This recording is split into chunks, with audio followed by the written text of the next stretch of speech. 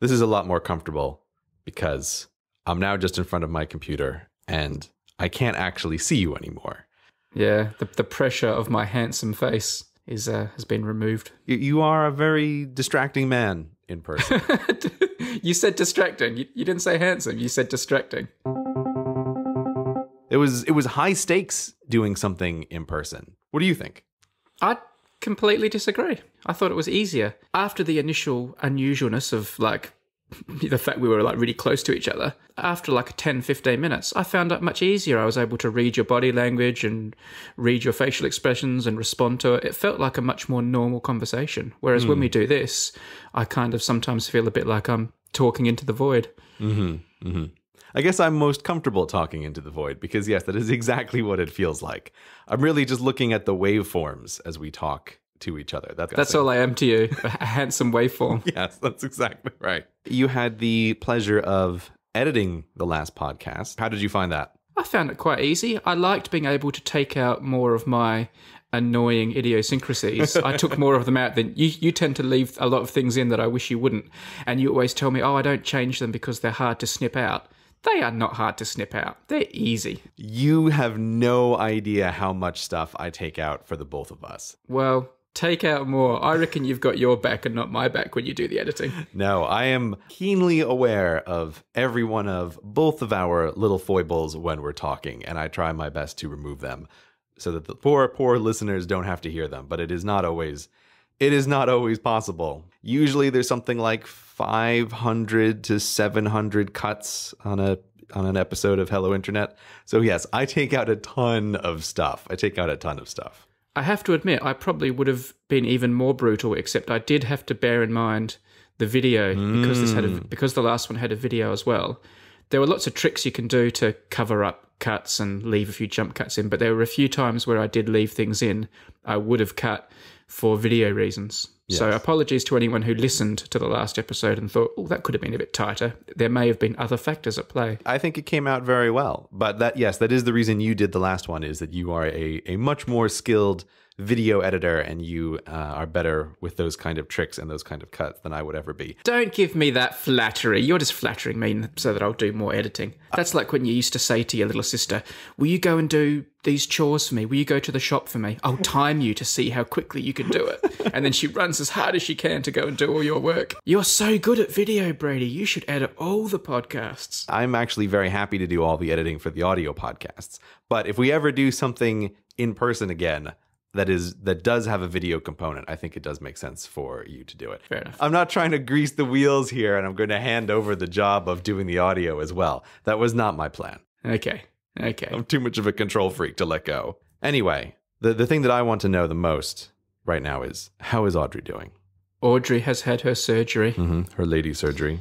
She has been fixed, as you like to say. I just said lady surgery just then. You said fixed. Fixed sounds terrible. That's a terrible sounding word. Didn't you say fixed last time? No, I always say lady surgery. You say fixed, which I think is just a it's a brutal sounding word. Brutal. I think fixed is better. Like at the park, I've been using it when I'm walking her and explaining why she's on the lead. Mm-hmm.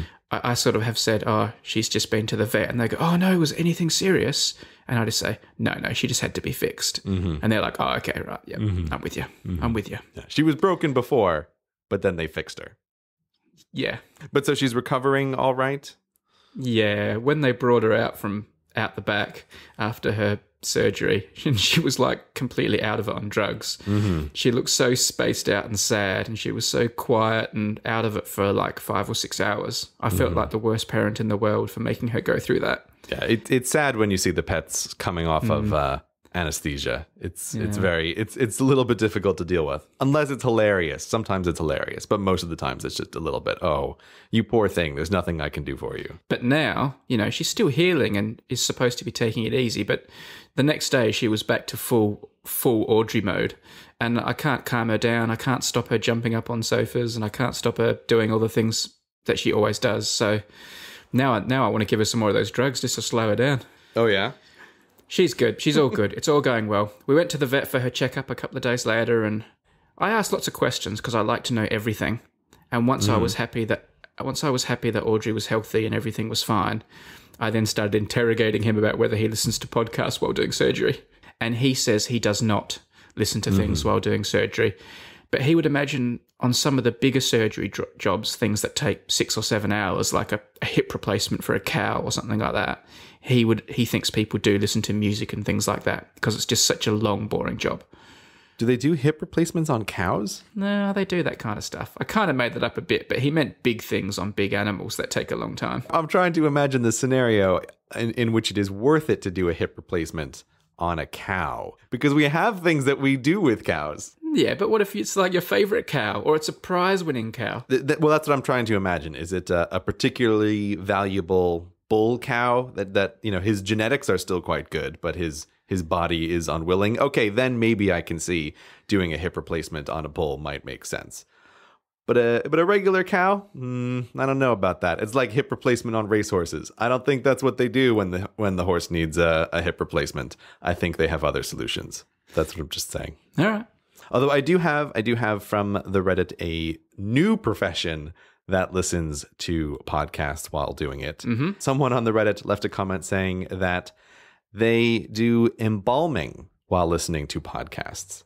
And I asked, what do they embalm? And the answer was people. People is what they're embalming while they are listening to the Hello Internet podcast. Wow. How do you feel about that? Not entirely comfortable. Mm-hmm. Why? I don't like dead bodies. Mm-hmm. And I don't know, I just don't like to think about it. Like, I'm glad they're listening. The, the dead body isn't listening. The embalmer is listening. I don't know. I just don't like the thought of dead bodies. I remember one time doing a story around Christmas time for the newspaper where we wanted to like warn people about the dangers of drink driving over Christmas. So I had this idea and I found out how many people were likely to die over the Christmas period from drink driving. And it was like six people or something. So we organised with the morgue mm-hmm. to get out six of the um, trolleys that they put dead people on. And we were like photographing mm-hmm. them empty and sort of with a kind of this could be, you could be on one of these trolleys if you're an idiot type warning thing. Mm-hmm. And when we went to the morgue and they set it all up for us, I was so paranoid I was going to see a dead body. I was sort of averting my gaze from every direction because I didn't want to see one. Mm-hmm. And I didn't. You didn't. I'm trying to think if I've seen dead bodies. this is a a weird thing about modern society is how rare it is to actually see a dead body. Oh, yes, of course I have. I've seen loads of them in uh, Nepal because they there's a place where you can go by the river where they they wash them and then they put them on on the pyres and burn them and the tourists can go and watch from the other side of the river. And I've seen that lots of times. But that was at a distance, wasn't it? I mean, that was not. 30, 40 meters. Mm-hmm. So Yeah, Once again, we're off to a really cheery start here. it's not Hello Internet if we're not talking about death pretty quickly. Have you ever seen a dead body? I know that I have seen dead bodies in person in funeral situations, but I mean, not since I was I was a little kid. You were a little kid and you were being shown dead bodies at funerals. It, it wasn't like my parents were driving me around to funerals saying, "Oh, let's go, let's go tour the dead bodies." Right? That's that's not the scenario. I'm just tr- I'm trying to cast my mind back to when have I seen an actual person who was dead, and it has been it has been a long time, which is which hmm. is why my my memory is a bit hazy. And of course, because you can never trust your own childhood memories, it is quite possible that the the funeral that I'm thinking of was even just a closed casket, casket, and you know, it, I didn't even see anything. But you know, because you can't trust kids; their memories are, are useless.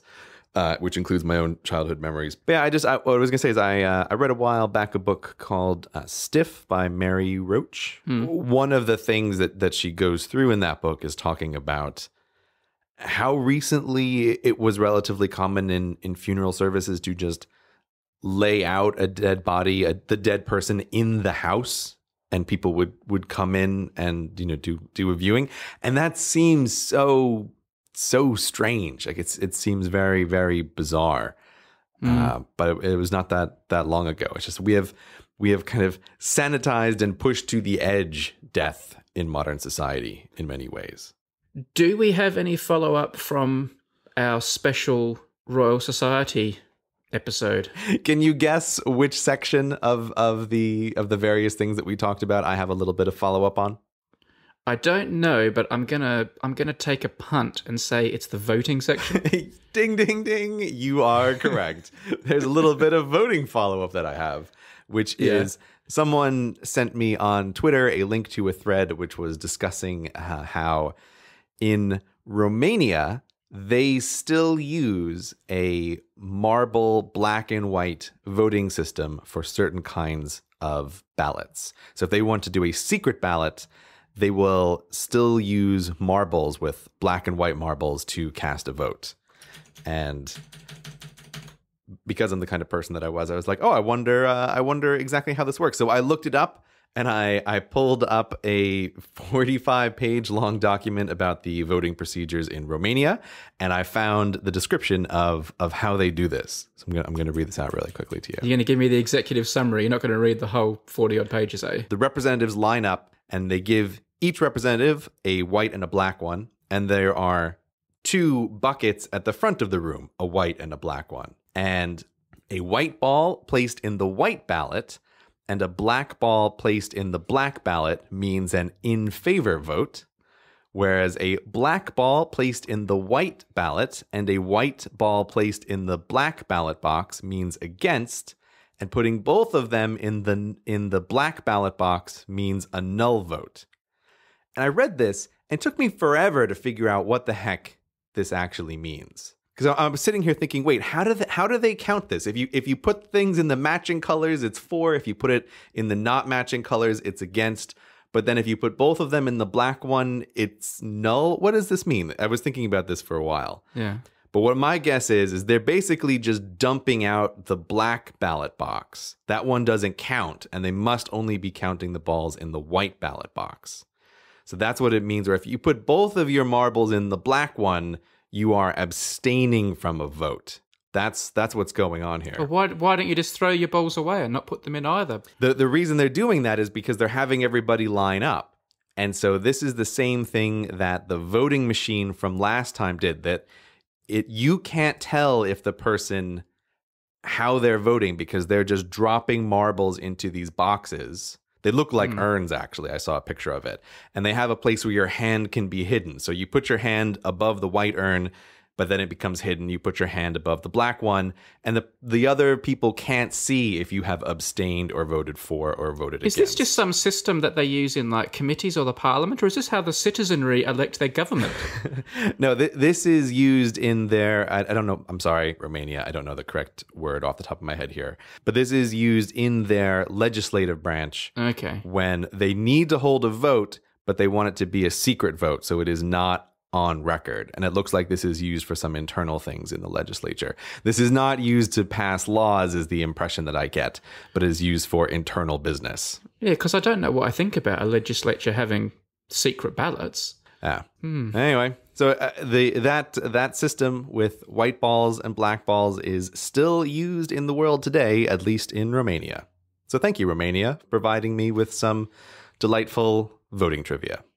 Who would have thought? I think of one little story as well, by the way, mm-hmm. something I forgot to talk about when we were at the Royal Society. You were mentioning how sort of the changing of the guard or the horse parade happened just outside the window mm-hmm. right before we started recording, and there was mm-hmm. all the mm-hmm. pomp and ceremony. I actually heard a story about someone who had a, another office right near where we were recording, and part of their job was doing a lot of sales to the US and having to sort of do deals over the phone and getting the US people to buy stuff off him. Mm-hmm.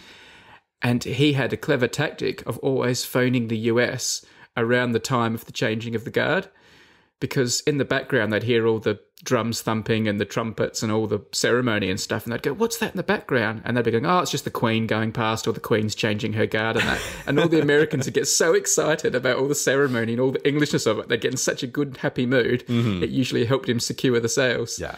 I think that would be quite effective. I'm always amused by how English people just they cannot perceive how much Americans just love the whole notion of the royal family. Why is that? I, I don't know. I mean, um, part of it is is I think just the distance, so that Americans uh, this is not part of their government. It, it allows them to just think of the UK as a still kind of magical place. like Game of Thrones. Yeah, exactly. Whereas if you actually live in the UK, there are many people who have beefs against the uh, against the royal family for injustices perceived or real. Mm. Like like then if you're living in the UK, you have to deal with the actual royal family. But if Yeah. if it's some other country, it's just like, oh, it's just magical. But I remember when I did my my royal family video uh, a long time ago, I had just this wall of feedback from people saying how my, my statement that Americans visit England in no small part because of the royal family was just ridiculous, that nobody would do such a thing. like, I guarantee you that is the case. And uh, when I was uh, I was in Hyde Park for the royal wedding a few years ago, I swear everyone in that park was American, right? There were no locals there. It was just every, every single person's voice I heard was an American. They'd all come over to be here for the royal family wedding. It was just crazy. We had a street party where I live. They shut down our street, and everyone came out and brought cakes and onto tables, and kids played games. It was lovely. That sounds that sounds really nice. I had a very community-minded street. Actually, I am in touch with uh, those sort of negative comments you were talking about, though, because I don't know if you saw the video, but last week I posted a video because Professor Poliakoff of Periodic Videos fame actually received his knighthood. Yes, it's official now. It's official. He got the sword on the shoulder. He mm. got Prince Charles. He didn't get the Queen, mm-hmm. unfortunately. And I'll tell you what, it was a bit of a palaver trying to get the footage for, for YouTube, but I managed to license the footage of the moment, so I've got it all there. People can watch Prince Charles doing the doing the thing in mm-hmm. Buckingham Palace. Mm-hmm. But yeah, there were a few comments, you know, under the video that were not complimentary about the royal family. From my perspective, I find them surprisingly controversial. Not not that I find them controversial, but the mention of the royal family for for some English people is surprisingly controversial. Uh, and, Yeah. and yeah, I, I I still to this day get a pretty large amount of feedback from that video that I made Yeah. years ago. I mean, that, that was like my fourth video ever. And that was just, it was made just so, so offhandedly before I even thought I was going to do this as a real thing. And I still get emails all the time from, from angry people about that one. Well, as I always like to say, if you have an opinion about the royal family, tweet Grey. Don't. I already get plenty of it. Thanks. There's another filter for your Twitter. yeah, yet, yet one more. All right, what else we got here in the follow up? Speaking of things on Twitter I don't need to hear any more about, Kindles. I love how every single piece of follow up starts with a speaking of the thing we just spoke about. yeah, well, these are, these are good segues here, right? Yeah, Um, Kindles. What are you? What do you got to say about Kindles? Surely there is nothing left to say about Kindles. I, I would think there's nothing left to say about Kindles, except again, I, I have received just a huge volume of tweets from people who are are telling me about Kindle's improved typography engine for their for their next generation machine. Mm-hmm. And every time I get one of these tweets, I, I hate to say this, whenever people tweet me about the Kindle stuff, it just comes back to the same problem of like, nobody understands what I am talking about. Like, I'm complaining about a very particular thing, and then everybody mm. goes, oh, Kindle's changed something related to typography. Like, we have to let Grey know. It's like, no, have they changed the thing related to my specific complaint? and and the answer to this is not really or in just the laziest possible way ever so hmm. yes kindle typography is somewhat improved but again even in their screenshots of them showing off their amazing new typographical engine i can still see like oh yeah you're not doing the left alignment correctly it's better it's definitely better but you know what? I'm not really interested anymore because I am now, I have moved on to iBooks. The ship has sailed. Kindle is someone I was in a relationship with a while ago, and we broke up because they just refused to improve themselves. And maybe they're working on making their lives better now, but I've moved on. I'm with iBooks now. Sorry, Kindle. You can't be wooed back under any circumstances. I wouldn't say I I can't be wooed back under any circumstances, but it would it would take quite a lot because now I, I have one fewer device in my life. I don't use the Kindle, and so I use my iPad now for reading. And to reintroduce another physical device, it would take it would take quite a lot, and a minor improvement is is not gonna it's not gonna cut it. iBooks does a very good job of rendering typography normally. Going to take more than a couple of flower emoji and an apology. I've added hyphenation to my words. Like, yeah, that was great. You should have had that ten years ago. it's like, I, I- you know, I'm glad you're, I'm glad you're improving. Have you left justified your books? Oh, we're going through our entire back catalog one at a time to try to add left justification under certain settings. Like, no, it's, I don't want to hear it. I'm not interested. Sorry, Kindle. All right. To be fair, though, the the iBooks did a terrible job rendering the typography and the getting things done book. But th- that was David Allen's fault for including lots of dumb quotes. But anyway, side note. All right. You've written here digital Aristotle. This was a little question from the Reddit, which I just I wanted to address. So last time you brought up the uh, automation uh, website, which was how likely it is that your job is going to be automated. Yes. And we were discussing about high school teachers and how likely they were to be automated, and it said very low. And so someone brought up this point, which I thought was really good. I just wanted to address. So, so someone asked on the Reddit, you seem to agree in the last episode with the really low chance of automation for high school teachers, but this seems to go strongly against your digital Aristotle video. Has your opinion changed? And if so, why? Hmm. I made the digital Aristotle video a while back talking about some changes that I saw coming in the world of, of education. Hmm. I don't think that high school teachers are going away for the reason that I said in the last episode, which was that you need someone in the room with children. I think it's going to be a very, very long time before parents feel more secure with a robot in the room than having a human in the room with their children. That human doesn't have to be a teacher, though. It could just be a security guard while everyone's got their tablets out. Yes. In the digital Aristotle video, this is sort of what I'm talking about and it was something that I was a little bit worried about when I was a teacher is I didn't see teachers going away, but I thought this is a job that is vulnerable to what's called de-skilling that you don't need as trained a person to do the exact same thing if you can start offloading a lot of the teaching to machine learning or with computers or with tablets.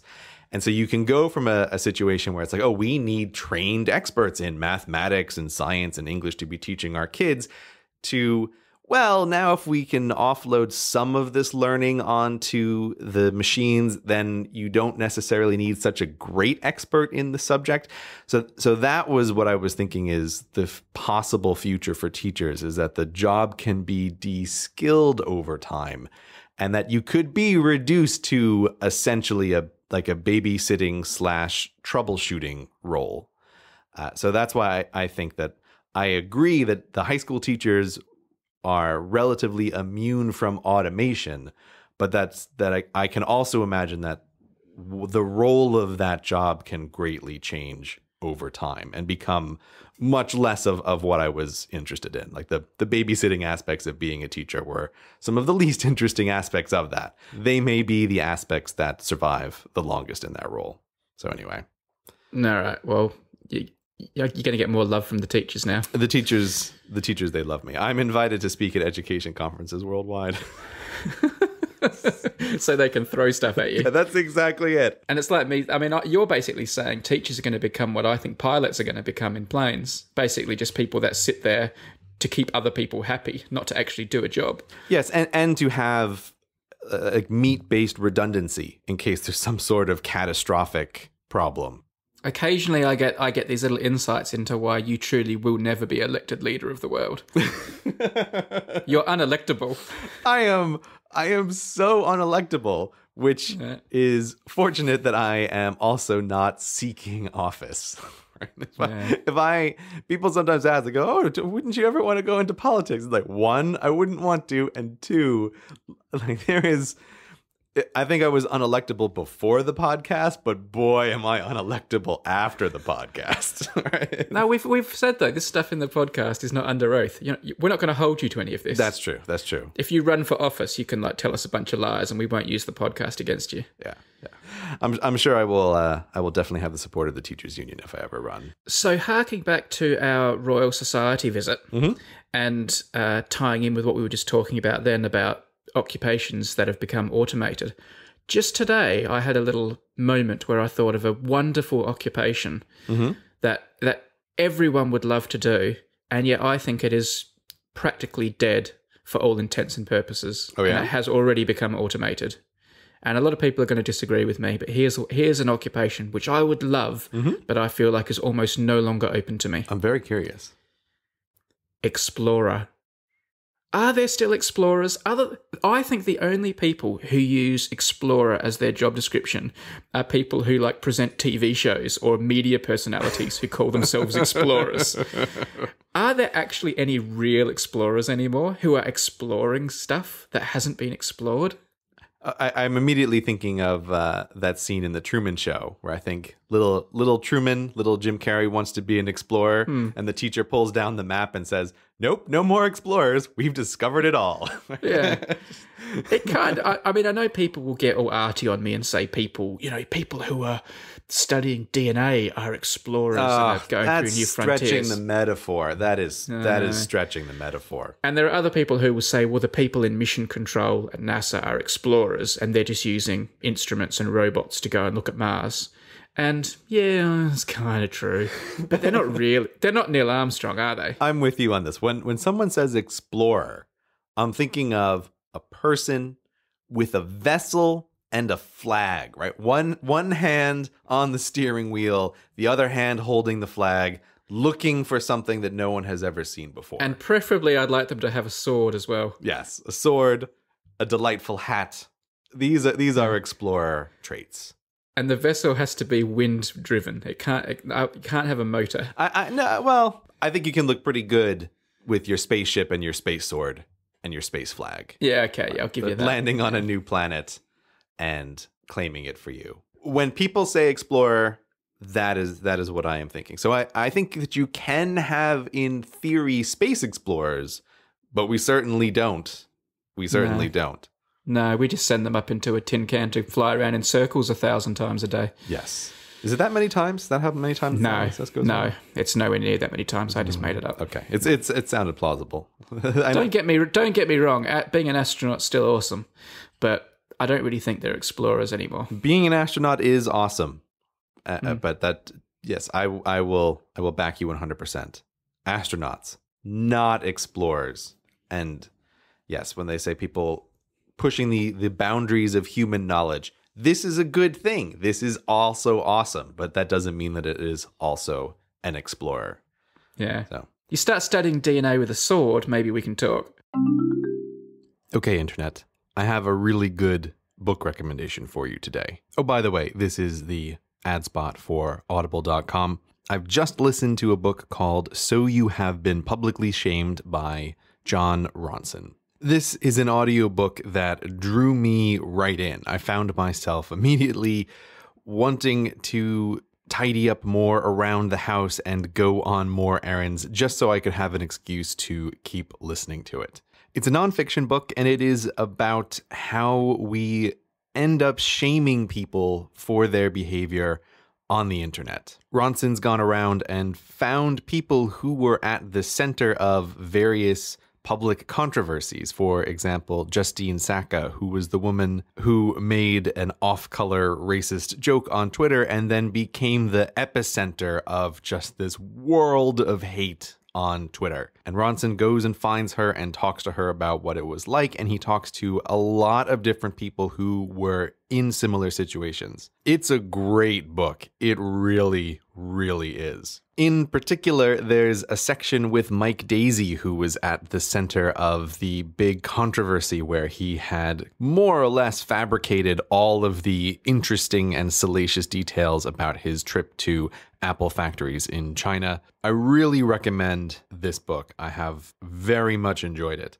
And it is available for you to listen to on audible.com. Go to audible.com slash hello internet. This way they know that you came from this recommendation and you can sign up for Audible and get a free book to listen to. And I'm going to recommend So You Have Been Publicly Shamed by Jon Ronson. And once you're there, why not check out the 150,000 other audiobooks they have for you to listen to? Spoken material is a big part of my life. I always like to have a good audiobook to listen to while I am doing errands, and this one has been and this one has been quite the experience. I would actually go so far as to say this is an important book for everyone who spends time on the internet to read. So right now, go to audible.com slash hello internet and give it a try. Speaking of explorers with flags, how did you uh, find the follow up where you asked people to submit all the Hello Internet flags into one place? Yes. I haven't actually. I haven't checked it for a while. Oh, you haven't looked. You haven't looked there. No, I haven't looked for a little while. I looked. I looked in the early days, but I haven't gone back lately. Um, where's that at? What are we going to do next? Because there was some, there was some brilliant designs there for all the right reasons and all the wrong reasons. Uh, I have the thread up on my screen right now. The current state is that there are 132 flag designs that were submitted to the subreddit. And yes, some of them are glorious in how hideous they are. The one that I showed you, and that I think is my favorite ugly one, is the US state flag version of Hello Internet. Oh yeah, yeah. Yes, someone picked those those same blue and yellow colors that I've complained about before, which just look awful. They wrote "Hello Internet" across the top, 2014 on the bottom, and they put a circle with the HI letters, and then as a delightful a delightful little touch, they wrote "Seal of." Hello Internet above and below. It's the seal of Hello Internet that really makes it in my mind somehow. It's just They it's, just wanted to make sure they broke every possible rule yes. for good design. That is that is perhaps my favorite one that I have seen on the Reddit for. I want to make something that is ugly. Uh, there are many hilarious ugly Hello Internet flags on there, but I, I would say that that one is is my personal favorite. What about the good ones? Because there were some some people took it seriously. Let's not just sort of sweep them under the carpet because of a few cowboys who've made jokes. I have no intention to sweep them under the carpet. I have already loaded up on my browser a bunch of the flags that I liked. Uh, would you like to see some of the ones that I liked? Will you share them with me? No, before you do, Yeah. I'm I'm going to put something else out there. all right. Before I even see these, I want I want this in your head because I haven't told you this before, but I actually have some contacts in the flag manufacturing industry.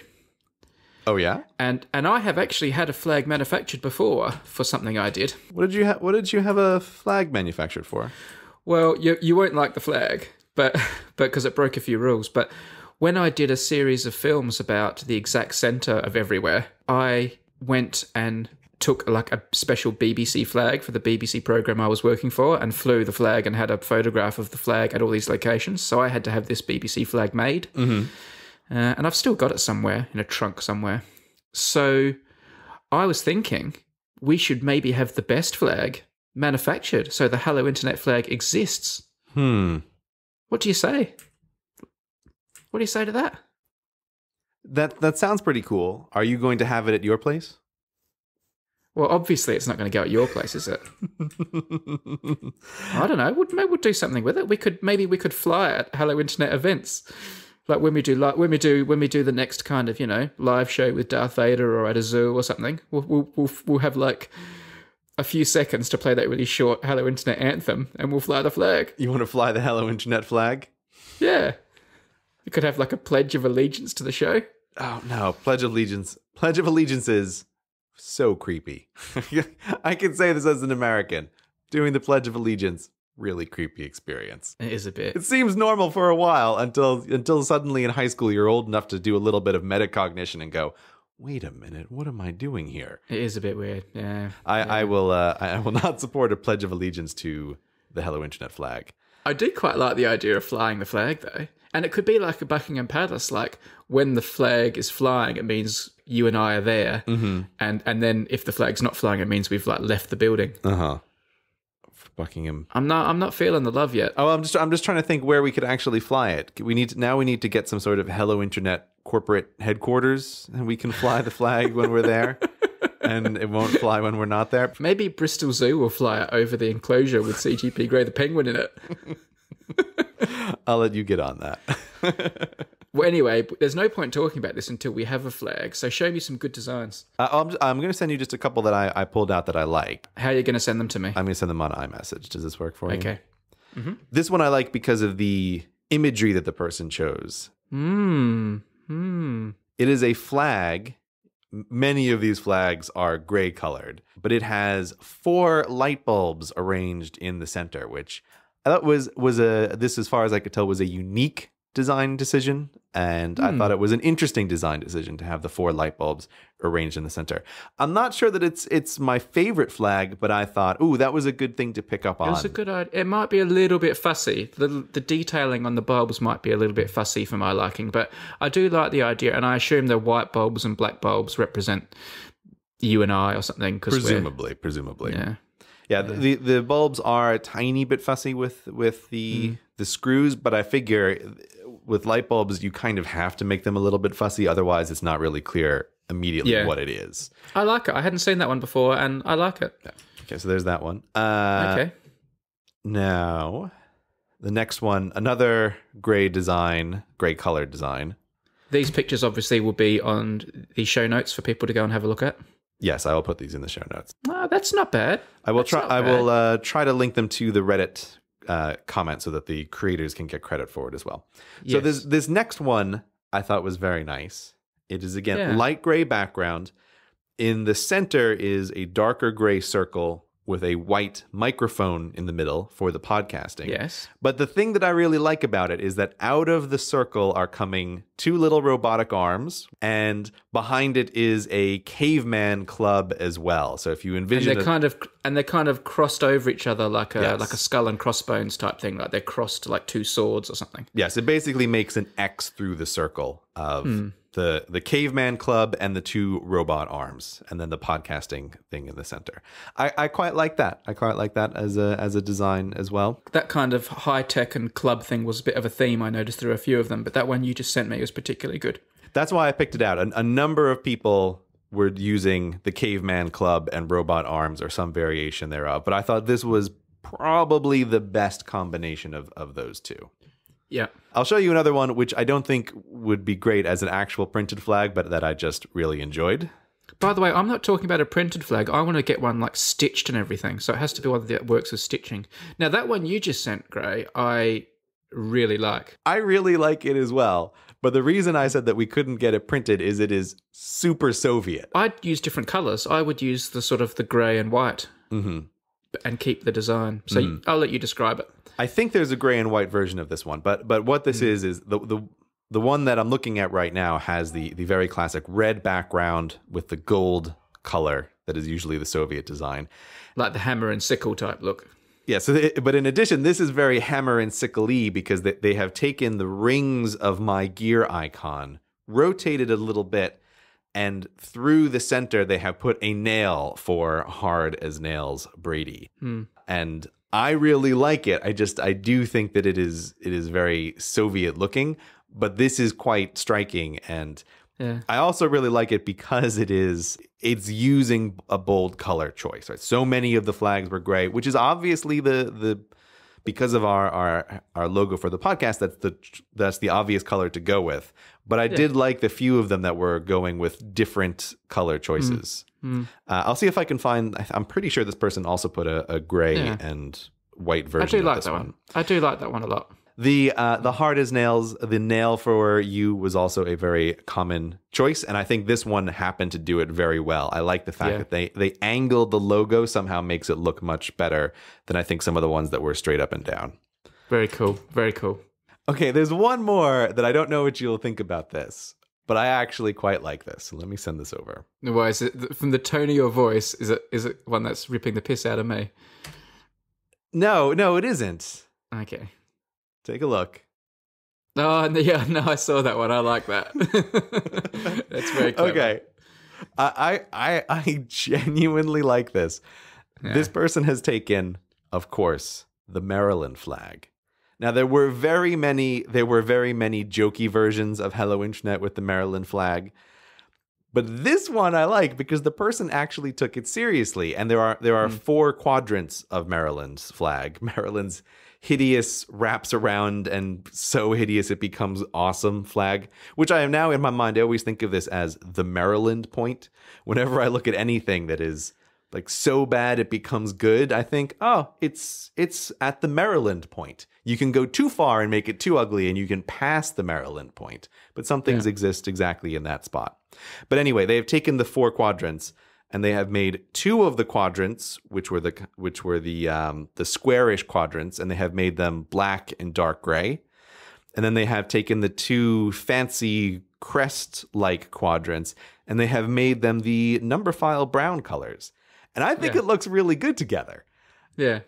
No, it is good. I don't know if this person meant this as a joke, but I actually think this came out really well. And so I I, uh, I quite like this design. I quite No, like I this do design. too. I do too. I, I, that's that was good. That that did tickle my funny bone. So we'll have Mm. to we'll put them in the show notes and people can have a look at them and we'll have to put some more thought into actually getting one made. And I don't know how we're going to do that yet, but I had the thread in what was called contest mode for a while, so nobody could see what order the flags were actually getting voted up or down in. If you go to the thread now, which I will put in the show notes, you can see the order that people have voted up and down things, and you can comment on them.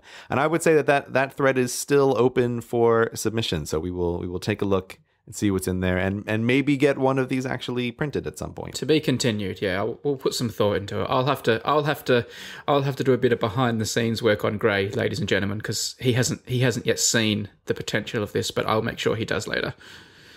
I'm not. I'm not disagreeing with this. Oh, there's one last one I want to show you really quickly. All right, come we on might cut this out. We might cut this out, but come on then.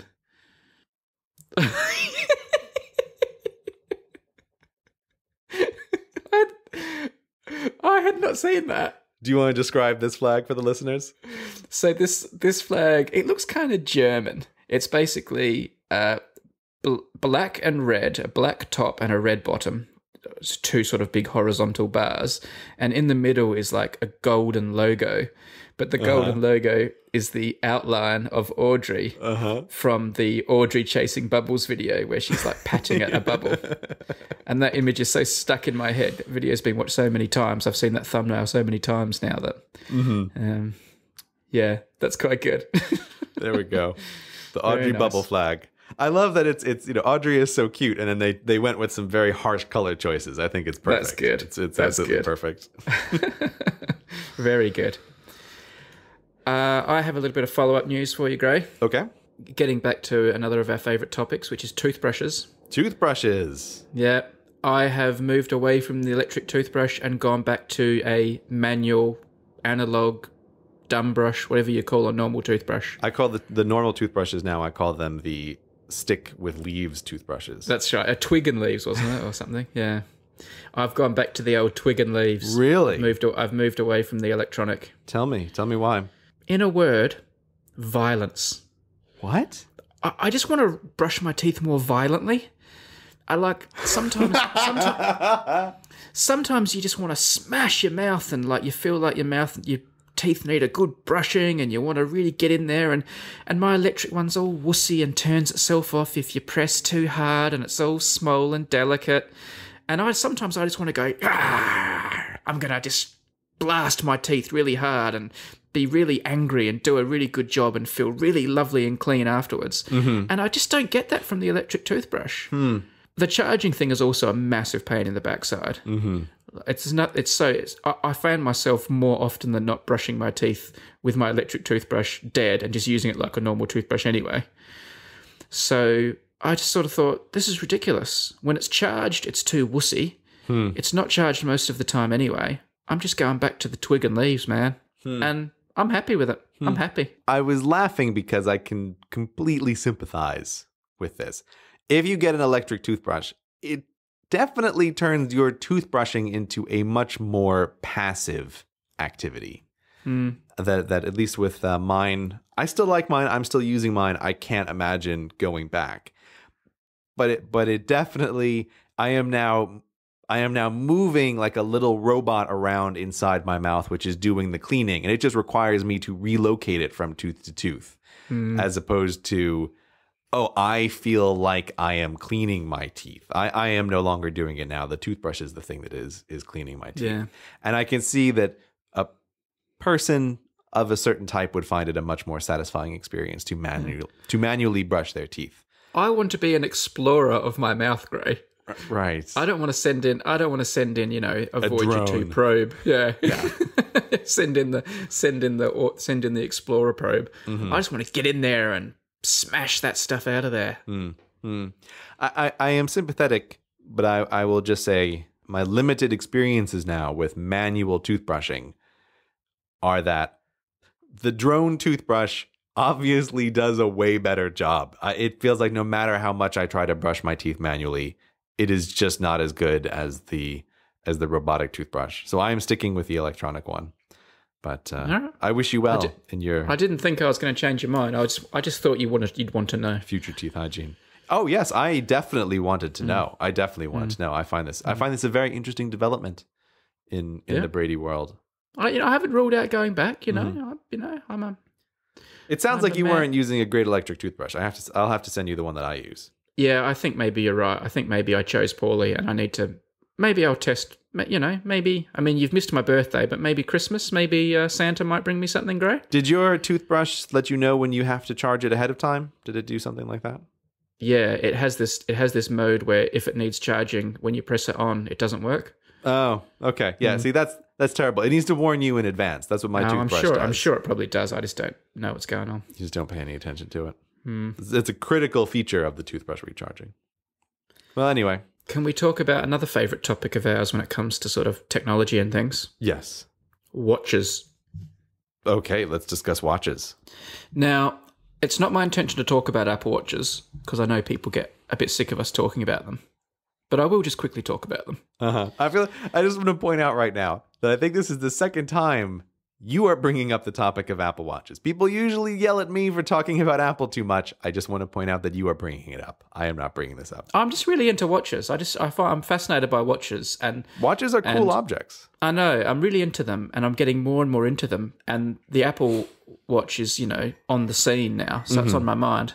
I saw my first Apple Watches in the wild the other day.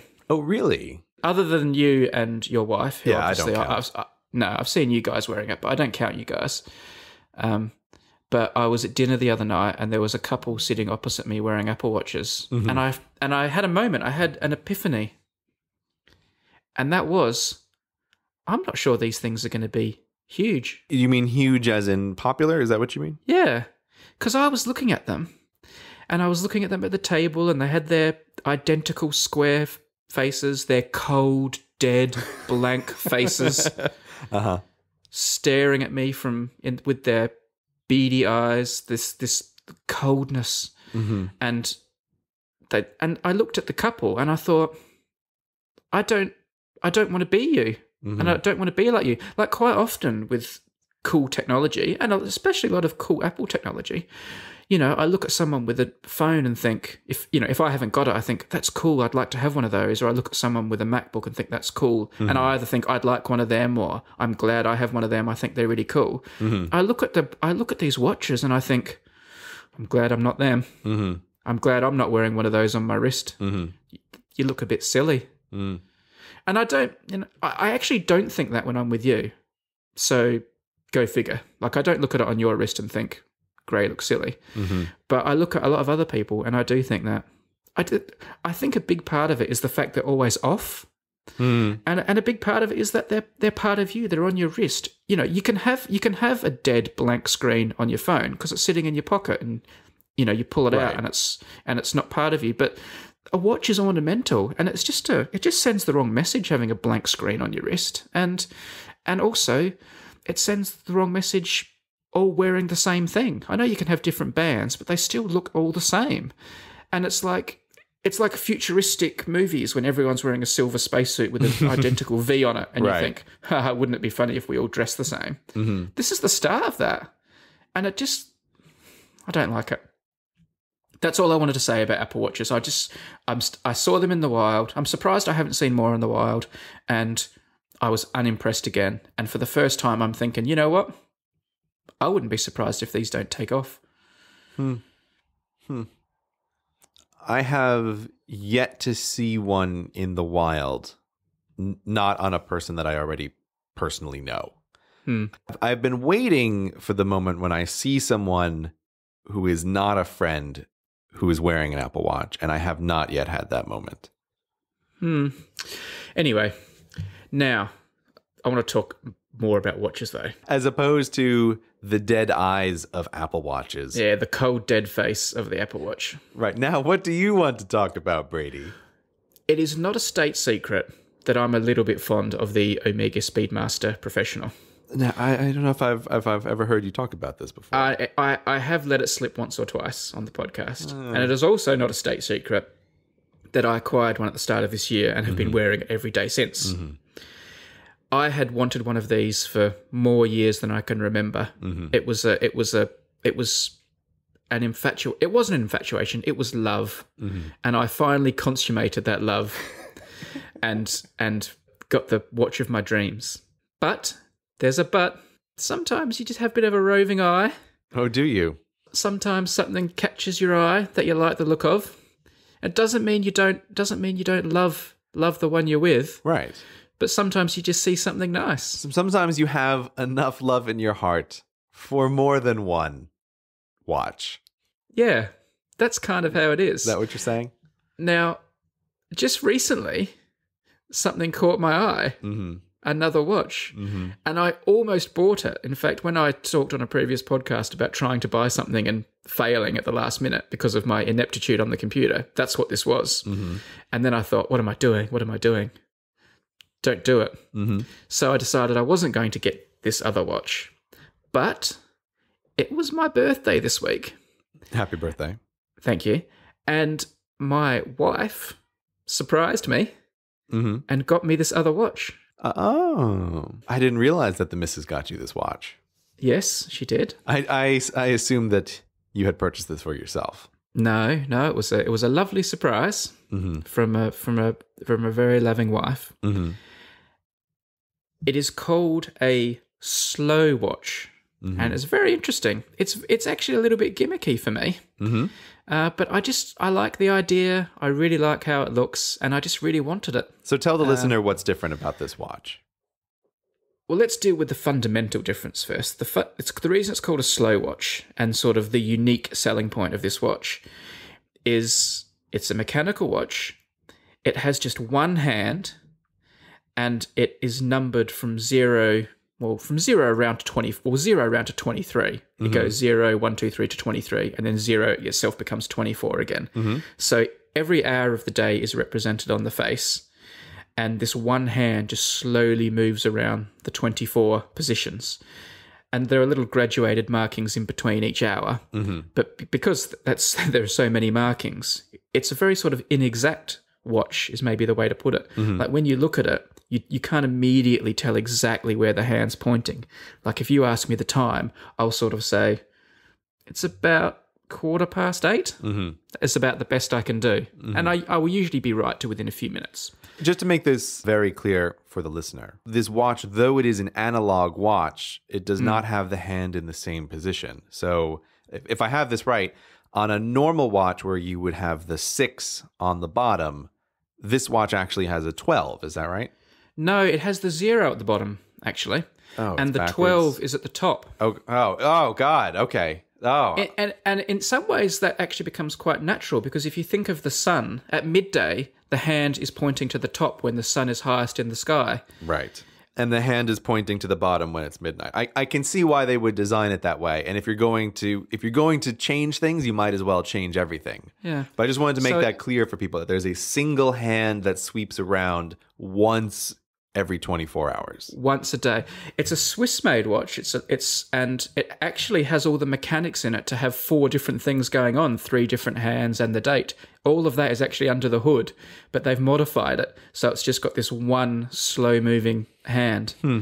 It's also just a really beautiful piece of design in my opinion. It's sort of very industrial. It's sort of a sort of a block of sort of squarish steel and the face is stunningly simple. They don't even put the logo of the watch on there very deliberately. They they want they think it sort of should speak for itself. The front almost looks a bit like an aircraft instrument in a way, except incredibly simple. And the one I've got's got a leather strap. We'll put a picture in the show notes. Yeah, when you show um, it to me, it, it makes me think of a like a pressure gauge or, or hmm. uh, uh, like on a steam vent. That's a pretty good call. That's a pretty good call. This hexagonal design with a single hand in, in the middle, and I'm now realizing why when it, when I see it, it's um, it's pointing towards the top because the time is backwards from the way that I was thinking it was. That's why I think of it as a kind of steam pressure gauge. That's the way it looks.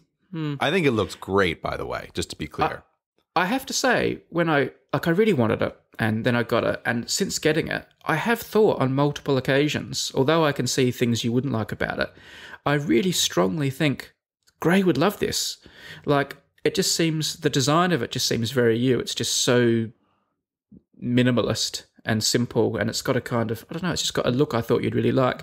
But also I know about you kind of like these fuzzy clocks or whatever and this sort of Mm-hmm. not having the exact time and this sort of plays to that beautifully. That's kind of the ethos of the of the company is, you know, be slow, change the way you look at time. Mm-hmm. Um so I th- I thought you'd really like it. Obviously not more than an Apple Watch, but Well, ever ever since you mentioned that you got this watch, and I've I've Hmm. seen it on Facetime, and you sent me a couple of pictures. What it has actually made me think is, I wish Apple would allow customized watch faces yeah. because this is an example of something I would be willing to try. I would be willing to try to have a single dial that goes around the watch once every 24 hours. And your comment about it being reversed, starting at the, the bottom and going to the top, that makes perfect sense. I can see how that works. And yes, because I, I don't live in a world where I need to be really looking at other clocks and I, I like the imprecise time better than the precise time. This I, I could see this being compelling. Now, of course, I'm not going to switch away from my Apple Watch, but if Apple did allow custom watch faces, this is I feel like this is what we were talking about last time. There's different ways you can possibly hmm. display the time. And this is the first one that I feel is compelling. Like, oh, I could see really getting used to and really liking that and maybe using that as as my main watch in the future. Obviously, I can't do it now though. I have to say, another appeal of the watch that wouldn't appeal to you, but appeals to me massively, is that kind of super simplicity and knowing inside it has this sort of the Swiss cogs and it just does nothing else. Like, this is not only is this not going to do my email and my podcast and things, mm-hmm. you know, this won't even tell me the date, I, and this won't even tell me the seconds. I love, I love the whole beautiful simplicity of it. I really like it, and it, it puts me in a bit of a quandary now because I have two watches that I'm really, really fond of now. Here's here's my other question. Have you switched back and forth between this and your Omega Speedmaster at all? Or have you have you just been dating the new watch? I've ju- I'm just sort of it's just the new fancy at the moment, but I uh-huh. haven't had it that long to be honest. So uh-huh. I've only had it for a few days. So at the moment, I'm just wearing the new one. Also, I want to get it's got this leather band which is really gorgeous, but I want to wear it a bit and get it sort of softened in a bit. Yeah, you have to break bit- in. You have to break in Yeah. leather. So I'm so I'm breaking it in, but once it's broken in, I feel like I'm in a bit of a quandary, and I haven't exactly figured out how I'm going to play it. How are you going to keep both watches happy and in use? I know, I know. So What I want to know is when you do switch back to your first love, you Omega Speedmaster, Mm. won't it break your brain to look at the watch hands in a different position? This is what I would wonder is if you've gotten used to looking at your 24 hour watch, I, I would I would feel like I couldn't deal with looking at something else. I, I will be very curious to hear your experience of going back to a traditional analog face after having used this one. I'm not imagining it being a problem. I mean, telling the time. I mean, I still look at clocks all the time in my life, and like, I don't think I'm going to forget how to tell time with a traditional clock face. So I, d- I, I don't mean that you're going to be some kind of time illiterate when you put on the Omega Speedmaster. I can't tell what time it is anymore. But I would just wonder if you would notice a delay or a hesitation or some some moment of having to think about it as opposed to just doing the quick glance, mm. oh, this is the time and putting your watch I, down. I will let you know. I will let you know when it happens. Please do. Take notes. There definitely is that cognitive barrier with the slow watch. I'm still looking at it, going, mm, like mm-hmm. getting the hang of it. But but I like that. I like that mm-hmm. experience at the moment, and it's rare that I need to tell the time so quickly that like lives are at stake. So, you know, I think I can put up with it for the time being, for the sake of a uh-huh. lovely a lovely little piece of art on my hand. Mm-hmm. Now, this brings me on to my next point, Mhm. and I don't know if you're going to help me with this or not. I want to talk about watch deals and brand ambassadors. okay. All right, because I think like for pe- for like people who are like movie stars and sports stars and all these people who you know do these big deals. I don't think there's anything cooler than a watch deal. If you're like a big famous golfer or a Formula One driver or a or a Hollywood A-lister, I think you've really made it when you've got a watch deal, Mm, A- especially if it's like you know Rolex or Omega or TAG, you know, the big ones. hmm Now, I'm open to Omega signing me up as a watch ambassador, Uh huh. but I don't think it's going to happen because I think George Clooney's locked in on a long term contract and they probably don't want all the fuss of ditching him for me and it would cause a mm. lot of bad publicity. And I understand that. And mm-hmm. George Clooney seems a nice guy. He's very handsome, mm-hmm. and I'm happy for him to have the deal. You you don't begrudge him his success. Yeah, and and I understand the position it puts Omega in when they're considering me, adding me to the stable because we look we have a very similar look. Right. And they were definitely when they were going through the paperwork, they probably had some files, you know, on um, Brady and George Clooney trying to Yeah. trying to decide who to go with. Well, when they signed when they signed Clooney on originally, I also hadn't gone public with my passion for the brand. So you know, Oh, I think. I think if they could have their time again, maybe they would reconsider. But anyway, Yeah. what's done is done. Yeah. It's water under the bridge. right. But I can't see I can't see the Omega deal happening for me. hmm But I am thinking I could be the man for these slow watches. Oh. I think I could become a brand ambassador for them. If they if they have the vision and and if they're willing to do the deal, Uh-huh. I could be the man. And and I've had a bit of a think about it. hmm And I think I could make a really compelling case if you give me a few minutes.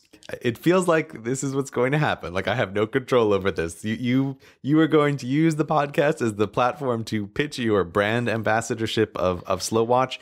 And who am I to stand in the way? Brady, you have the stage. Let me run you through why I think this is a no-brainer for them. All right? Uh-huh.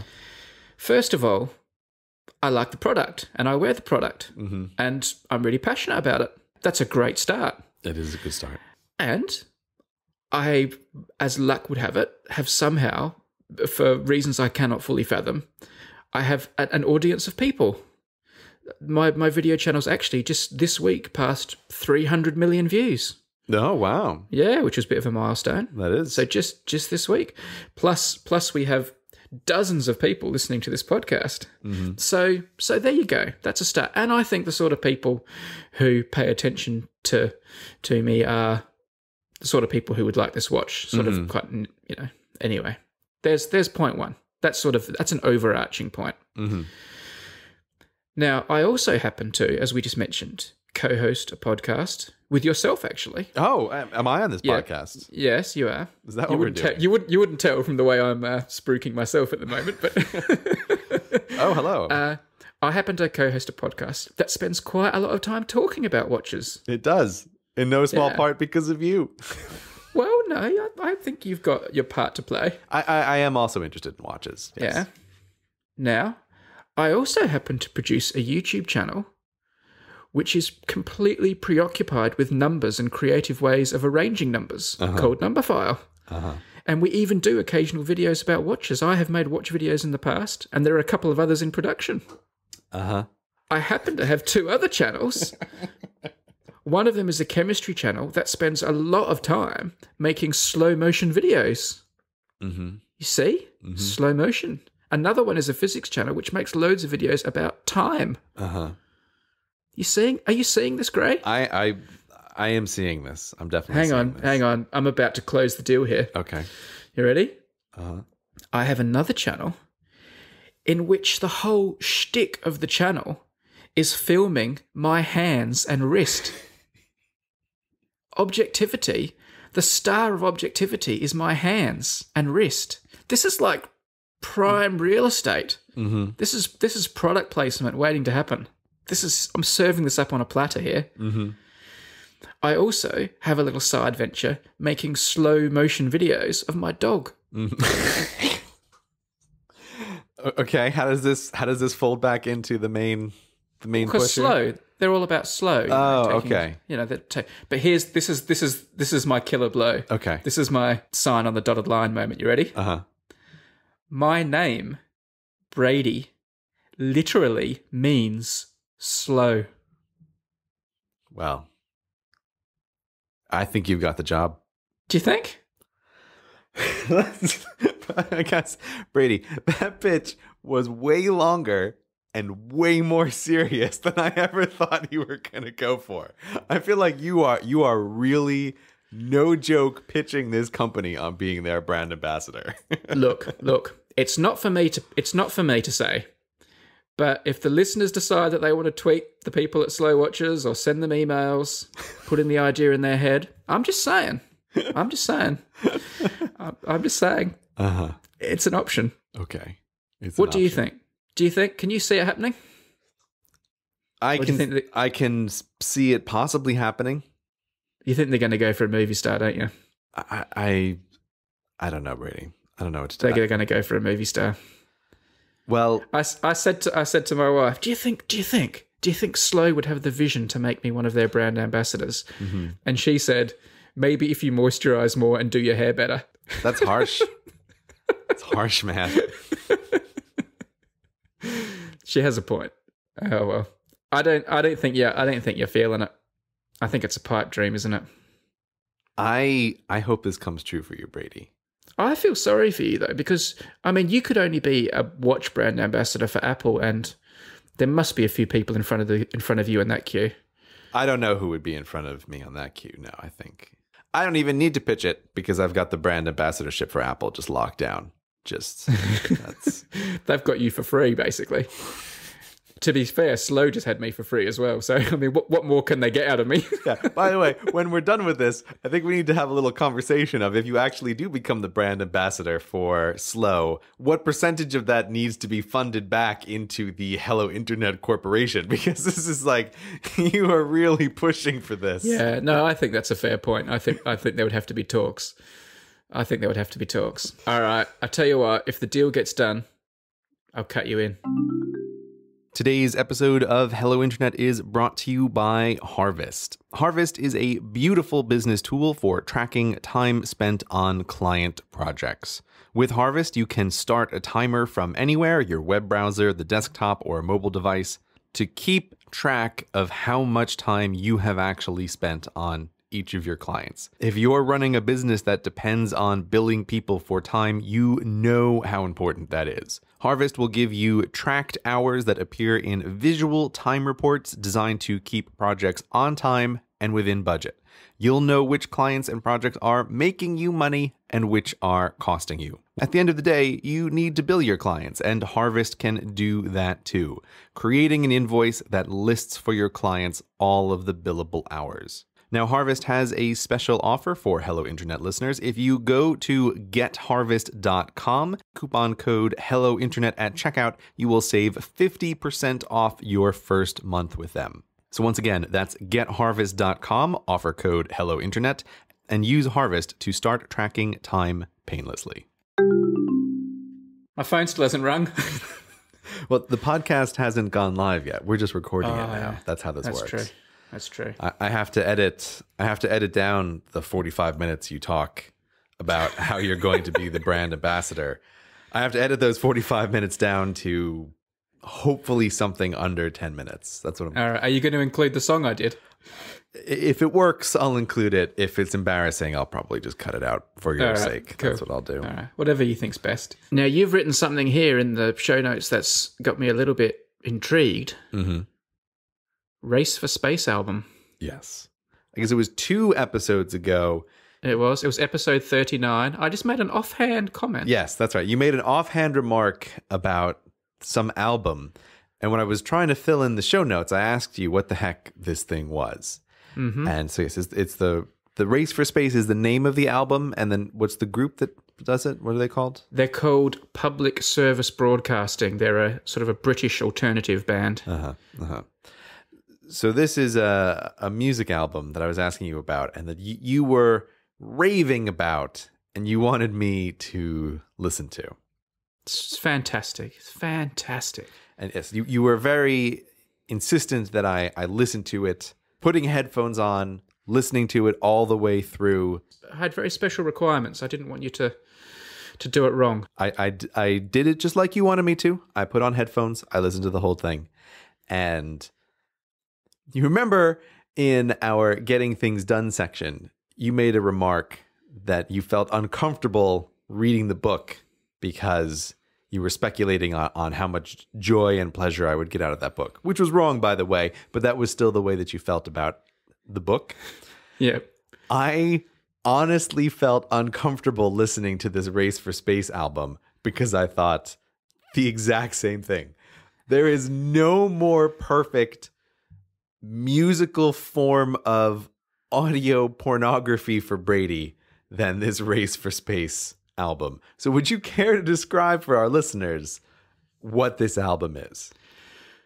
All right. What what this band has basically done is they've taken lots of audio clips. Um, I think they've actually done it in cooperation with the British Film Institute and things like that. So they've got access to loads and loads of archive from both the uh, Russian space program, the NASA Apollo space program, all the early days of space, and lots of news broadcasts as well. Lots of sort of old school journalism from the 50s and 60s and maybe even the 70s, late the early 70s.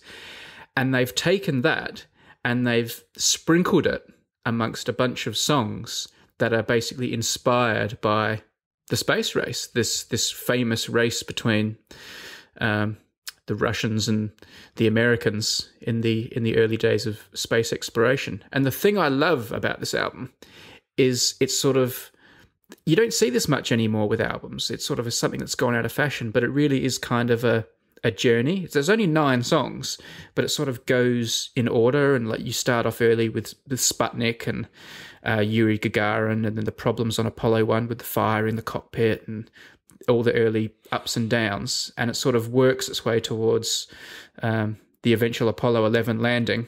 Song number eight, which is called "Go," which mm-hmm. is a, a, real highlight of the album. It's sort of the the, the showpiece, I think, and then a, a, a sort of a finale song.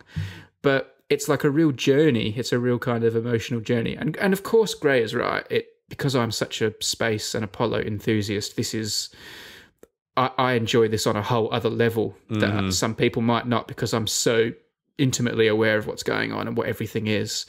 But I have to say, it was my wife that put me onto this album. She completely loves it. And I can assure you, she is not a space enthusiast, but she is a music enthusiast, and she she just really likes the music. So I think the fact it's peppered with all this audio and it's that's the that's what it's about, obviously gives me pleasure. But I think on its own merit, it is an excellent, excellent album, and I could talk a lot more about it.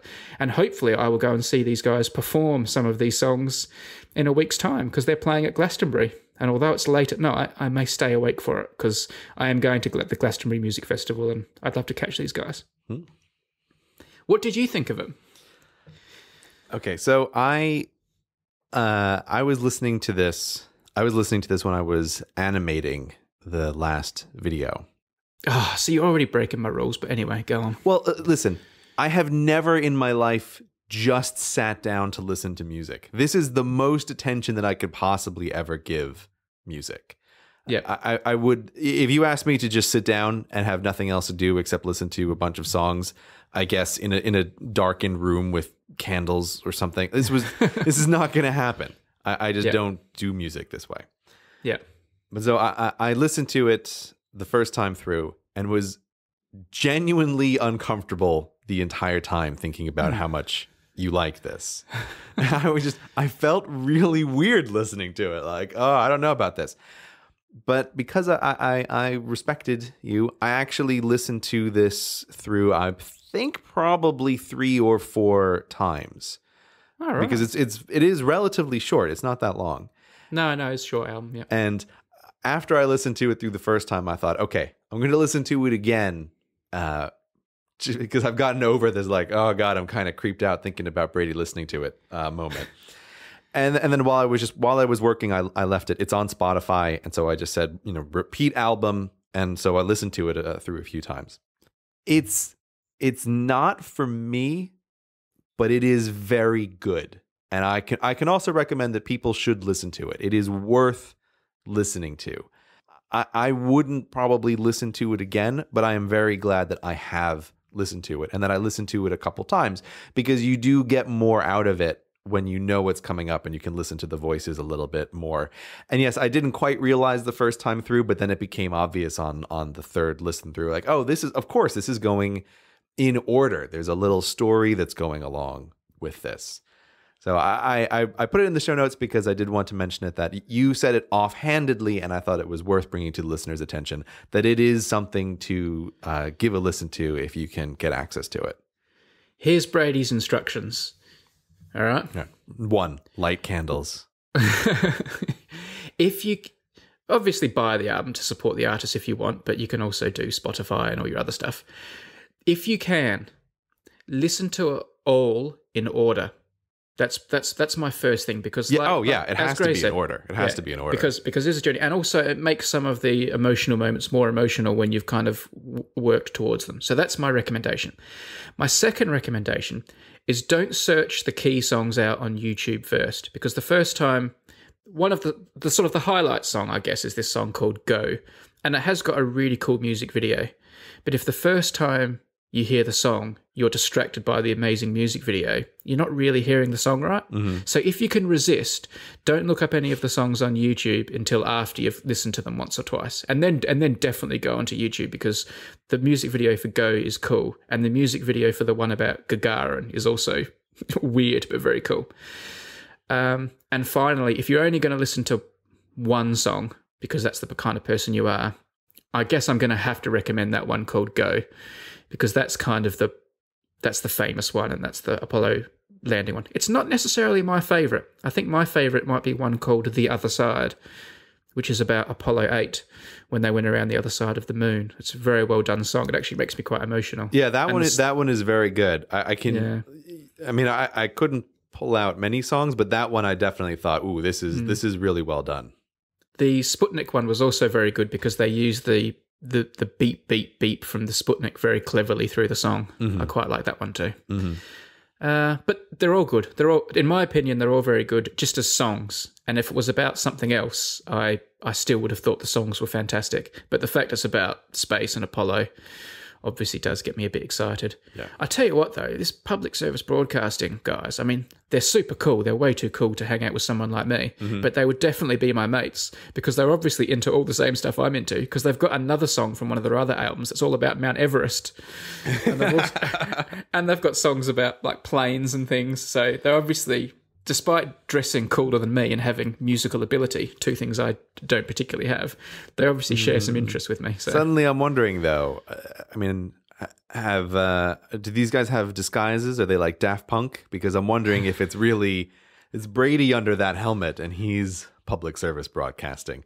Oh, I love this band, and they happen to write music about the Apollo missions and Everest and airplanes. Uh, it's it seems a little suspicious all of a sudden. Uh, well, I don't know. It is true. We've never been seen in the same place at the same time. Yeah. If if you're at Glastonbury, come and see them. And if you see me down the front throwing my underwear on the stage, come and say hello. Yeah, and actually, I'm just realizing. Of course, you you did just sing the song that I had to cut out about the uh, about the slow time watch people as well. I'm suspicious now, Brady. I'm suspicious.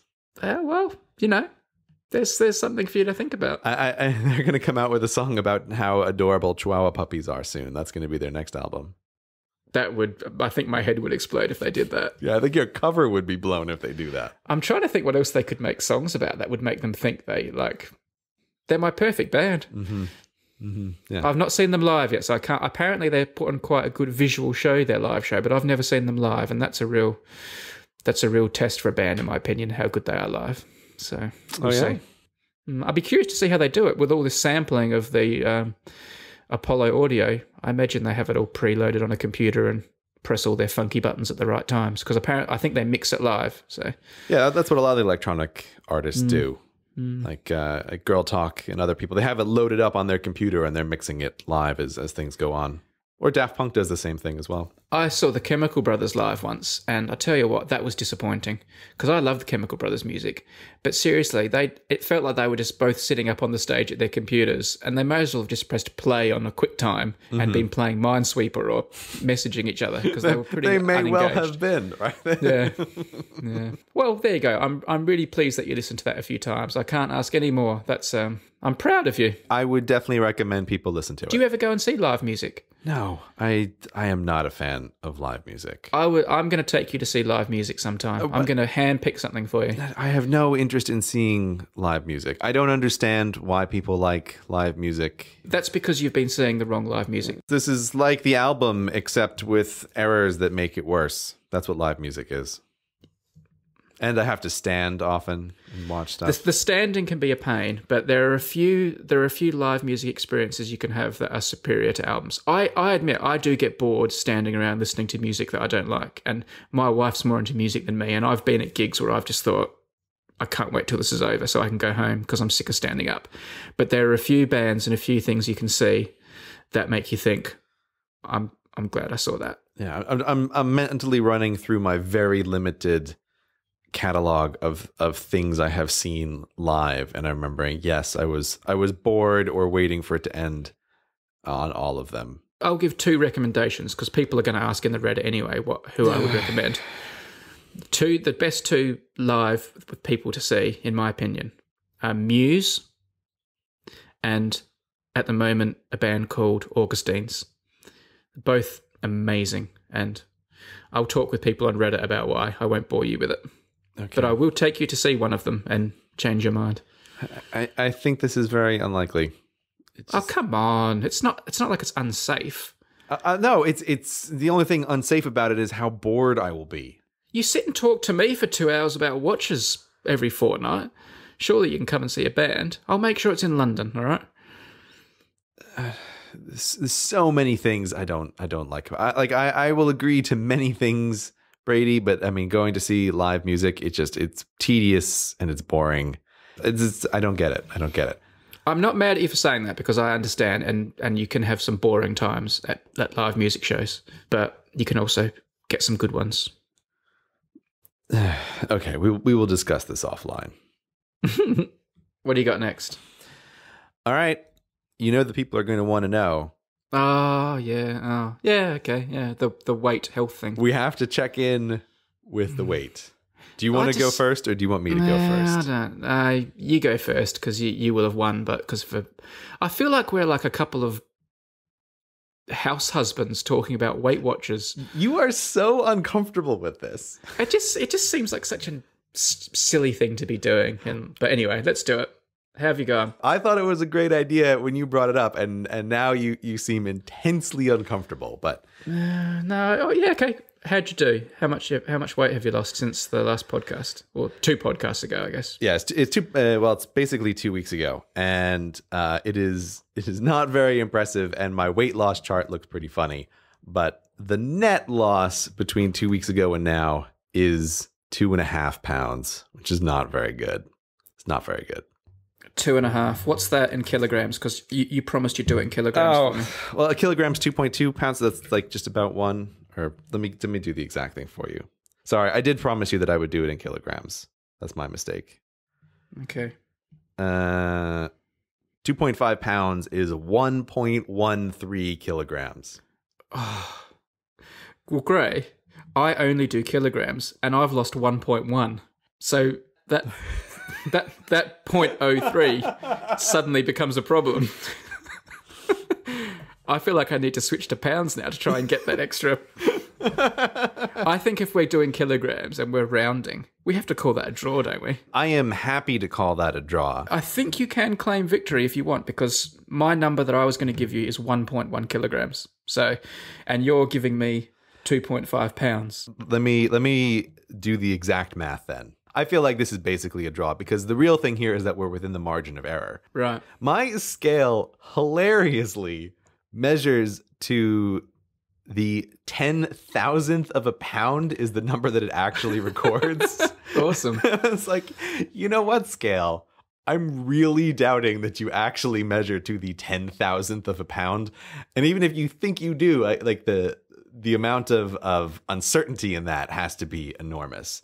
But so let me just do. Let me do. Okay, so let me. Here's, you're gonna have to listen to me type for a second Okay. because I was I was just doing it approximately at 2.5. So let me get the exact numbers here. okay. So I'm gonna divide. I have the data points all on my phone. So now I'm now now I'm entering to, to four de- four ridiculous decimal places. It could it could win you a point if you can get yourself to 1.2, so it's worth checking. Uh, no, I think you're going to win this. Hold on a second. Oh well, you're not going to. I'm not. I'm not going to win it. You're not going to get yourself down to 1.0. Hold on, hold on. I thought for a split second, I thought you were actually going to win it, the the overall numbers, and my actual thing came out to be to four decimal places that I hmm. lost two point four two five one pounds, which turns hmm. out to be exactly. 1.1 kilogram. So we have Really? tied. We have tied. We have tied. That's amazing. I tell you what, I pulled it from the fire at the end because I've had a very bad couple of weeks for various reasons. So I'm I'm lucky to have scraped that one. my health chart is really embarrassing because I, I lost two point uh, I basically lost two and a half pounds in the first two days. Immediately gained it back, and then have been slowly trying to claw my way back down. But those, but those first two days, I was like, "This is awesome! I'm gonna Yeah. lose all of the weight by the time the next podcast comes around." and then I don't even know what happened, but all of a sudden it's like, oh, back back up, like you know, oh, you, you ate a cheeseburger once, and like, ah, apparently that cheeseburger, you uh, everything everything is gained right back, and then the weight loss was super slow. I had a whole list of excuses ready for when you kicked my butt then, so I'm really surprised that we tied. This was uh this was not impressive. Um, I mean, I've I've been traveling. I've had my birthday. My sister came to stay, and I had to take her out to restaurants. I've been like, I've been. I thought I'd been pretty naughty, but So this is this is the funny thing is I, I was also getting ready to be like let me let me explain all the reasons why I haven't lost as much weight as I should. and I do I will say that the one the one thing that I have always known that is my problem is that the, the busier I get the harder I find to keep track of this health stuff. Hmm. And I have been you have been a, you, you've been a busy boy lately. I have been unusually busy lately, and I'm just I am my problem is always that, that if I get really busy, I find that some part of my brain just doesn't pay any attention anymore to what I'm eating. That I just like, oh, did I eat? It's like, oh yeah, we were we were operating on autopilot and we just ate a bunch of crap. And it's like, oh, okay, I guess that's what happened. Brain. It's like, yeah, don't worry about it. You were busy working on stuff. Uh, so that is that is always that is always my my problem. Uh, I am I'm being reasonably good sticking to my calorie counting, so I think that's helping me. I am looking at the numbers going in, even when I'm being a bit naughty. I'm I'm not doing as well as I should, but anyway. this is where I'm I am terrible about it because I'm I make an attempt to calorie count, but God, do I hate doing it, and I'm so inconsistent about See, it. See, I thought you'd love that. Everybody thinks that I would be all over the calorie counting, and my Yeah. my brain just rebels against it. I find it. interesting. Here's the thing: even though my diet is relatively consistent, it's it's not like one of the problems with calorie counting is that you, you go to a restaurant, right, and they serve you mm. some meal. And then you're just wildly speculating about what the heck the amounts of various things are in the meals. My life isn't like that. My life is very regular, it's very consistent. So it's not even like, oh, I have to expend mental effort to try to calculate. I just need to press a button that says, yes, I ate the same breakfast that I ate the other day, or hmm. yes, I had one of my five normal snacks this time. But I, uh, for some reason, I just can't bring myself to do this consistently. I find it almost impossible. Like if, if I am really good on one day with recording everything in my calorie tracker, it raises the probability 400% that I'm going to be just crap about it the next day. It's I am I don't know why I am just unable to do this uh in, a way and I really want to, but I just I can't. It's really hard for me Just to don't worry about stuff. the accuracy so much. But but And my, my whole and point just is put, I just I don't put the products in at all. I just put numbers in. So I just put all right, 250 breakfast 250. Oh, I ate that I ate that uh, sandwich and I looked at the box and it was about 400 plus I had some that so I'm going to put 600 on Mm-hmm. and and just slightly overestimate it to so you don't cheat Mm-hmm. and just put rough numbers in and then you won't get all funny about it. so I, I am using this app which I really like, which is called LifeSum, and I can I can pre-build in the meals that I normally eat, and I have already gone through the trouble of pre-building in the meals that I normally eat, so they're there. All I need to do is just press the button that says record that I had normal breakfast, and something something in my brain rebels against this and finds it tedious hmm. beyond belief, and Wow. I am shocked at this behavior of of my own. It's it's so counter to almost everything else that I do. And for for some reason the calorie counting is I just can't. I just can't bear it. It's interesting. Yeah, I, I don't understand it. Anyway, So there, there, there is our there's our update for the people who wanted to know. Here we go. I saw an article. Should chess be in the Olympics? What's your opinion on that? Because you know, every few years they, or the Olympics are every four years, but every Olympics they they chuck in a few new sports and demonstration sports and things like that. And there's a few sports people are mumbling about at the moment for a future Olympics, and chess has come up. And I'm a bit obsessed with chess. Mm-hmm. I'm not good at it at all. Mm-hmm. Uh, anyone with any experience playing chess would wipe the floor with me. Mm-hmm. Um, but I'm just obsessed with it as like the culture of chess and the mystique and the stories, and it's just a it's just a game that fascinates me. It's a whole. I love reading books about chess and Bobby Fischer. I've talked about it before. Um, so when I when I saw, and I know that you used to be okay at chess, didn't you, back in the back in the day? I was one of those nerds who was on the chess club. That's the Yeah. kind of nerd that I was in high school. Okay.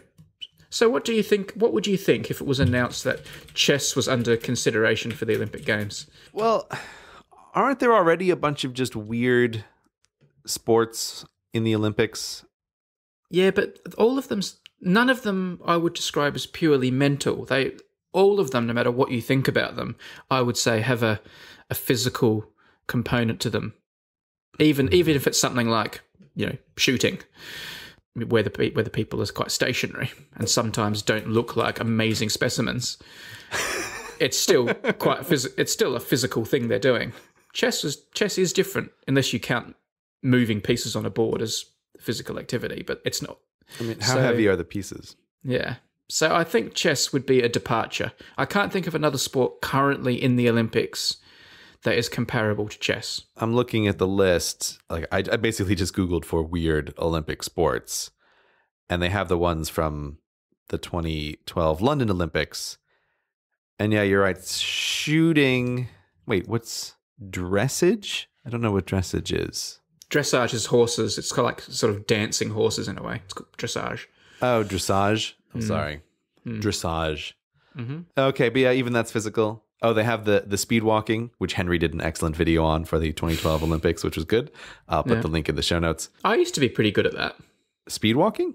As a as a junior, I used to go to like little athletics, and I once got the state qualifying time in speed walking. And if I got it that second time, I would have gone to the state championships. Yeah, but you would have just failed on a more glorious stage had you gone to the state championships. Exactly. Well, my second attempt to get a qualifying time was I really hyped it up, and then I failed. So You are correct. Even the weird ones, trampoline is on here, trampoline for some mm-hmm. reason.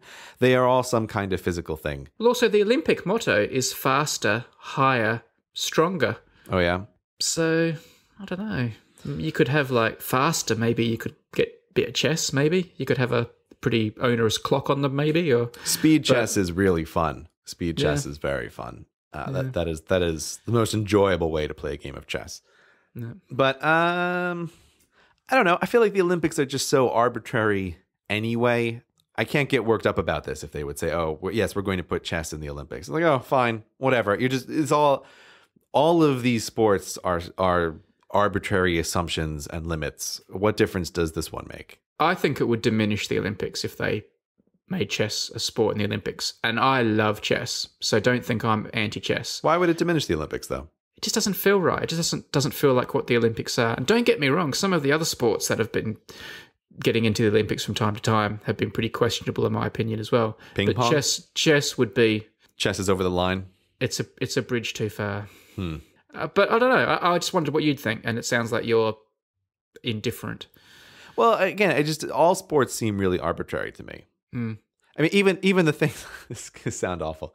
Even the things like when when when they go, oh, athlete X is in trouble because they used steroids to compete in this sport. I often Hmm. think, why are steroids not allowed? I- I- Aren't we trying to see like what what can you push the human body to at, at the absolute maximum? I don't understand why steroids aren't allowed if that's what we're going for. We're trying to see how fast can a man run around in little circles. Yeah. You know, why, why aren't steroids allowed? Well, I can think of two reasons, but yeah. What are your two reasons? Well, one is it could become uh, an arms race of sorts, and it would come down to Well, of course it would. a race of technology. And you could argue, well, okay, it's like that now with training methods, but Yeah, that's uh, one reason. That's The second exactly what I would say. Yeah. The second reason I think is the um, safety of the competitors. If you open those floodgates, they will start pushing their them to themselves to very limits, and people will start dying for their pursuit of Olympic gold medals. And I don't think we should uh, have rules that encourage that. Mm. I, I understand the argument. I, I, you know, when I'm being a devil's advocate and, and mischievous, I will say exactly what you just said. But in reality, you know, come on. No, I'd be I'd be fine with it. I actually, okay. What they should do. Here's my plan for the Olympics. You listening, Olympic Committee? we should divide the Olympics into two groups. Hmm. Augmented humans and then a, then like a Greek style no augmentation whatsoever Olympics. And would they have to compete naked like in Greek times? Yeah, because your little your little sports shorts, if technology keeps progressing far enough, well, those are going to be nano shorts. You can't trust them. So you'd have you'd have you'd have nu- nude chess. You could have nude chess at the Olympics. Yeah, yeah, that's right. You you break chess into two into two tracks. Yeah. One of which is you can use as many nootropics in your brain. You can you can do whatever you want to try to augment the human physical form. And can they use the internet to look up moves and stuff? Yeah, why not? Let's try to make this the best chess game that's ever happened between two humans. Well, it would become between two computers then, wouldn't it? But yeah, all right. No limits. The two of you are sitting there. This is a chess game. This is going to be the best chess game that can possibly occur. Right. And then the non-augmented track. The nude chess. Yeah, the nude chess. They'd have to be sitting there naked. Yep. Moving their rooks. Yeah, they couldn't. They couldn't use any steroids or anything. But yeah, this is this is this is my this is my plan. All right. I think this works well for all sports. You have people on people on steroids, for, you know, running races or whatever, and then you have people without shoes running races. I think this is this is the future for the Olympics. All right. Yeah. All right. I hope to see this implemented. Well, I don't know. With these with these like IOC and FIFA and stuff like that, you got enough money, anything's possible. Yeah. I guarantee you you'd get higher ratings if you did this Olympic committee.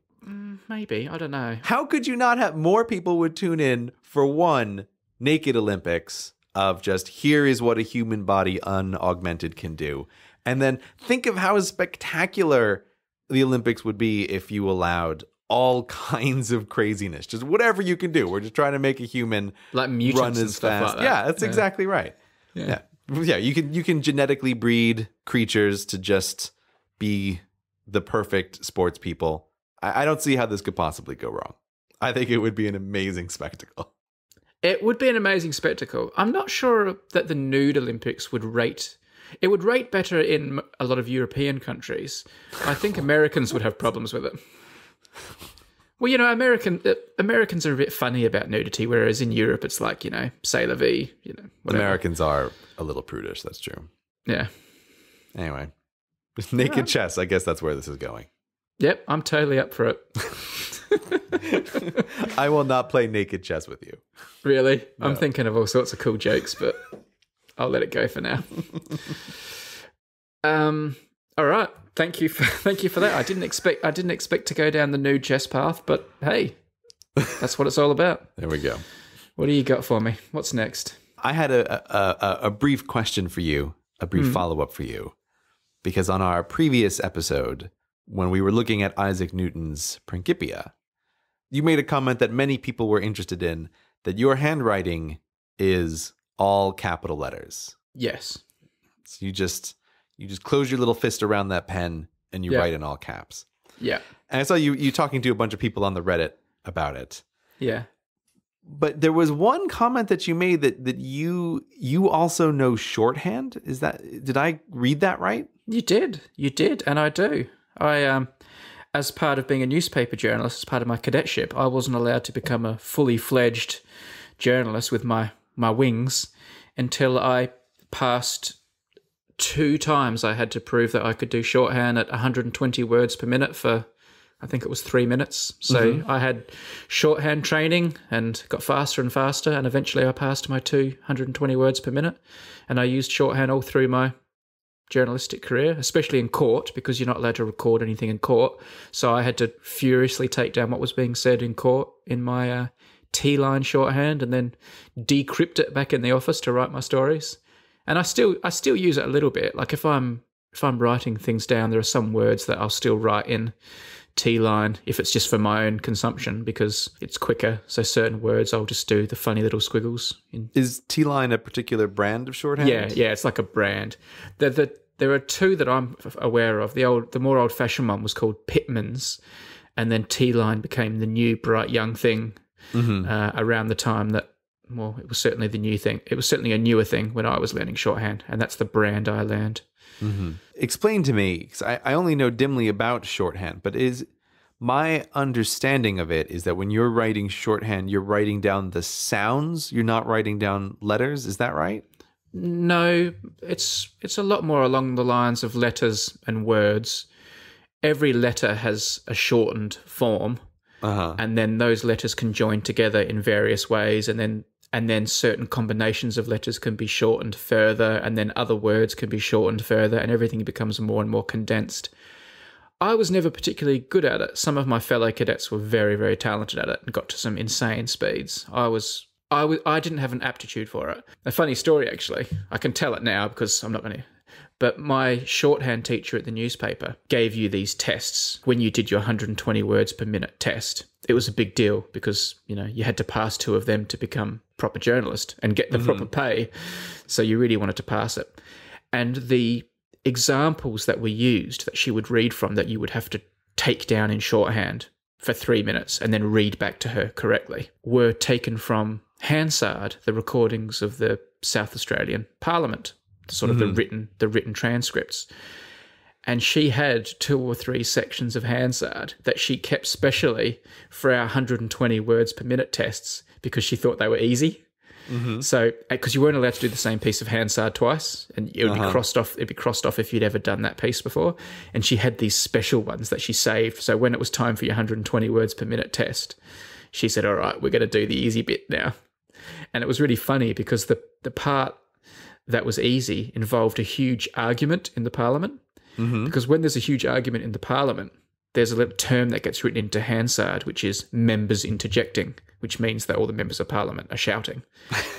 and then and then the speaker of the parliament says order, order, and then the and then someone starts speaking again, then the members get upset and we get another members interjecting. So there's this one section of Hansard which is littered with members interjecting, the speaker, order, members interjecting, the speaker, order, order, members interjecting. And there is a bit of talking in between, but it's just full of that, this huge Barney that went off in the parliament. And that's what helps you get your 120 words per minute in shorthand because it's it's really easy to take down because you make all these little shortcuts. So I wasn't particularly good, but I got my 120 words per minute. And I did use it for many, many years, and I still use it a little bit now.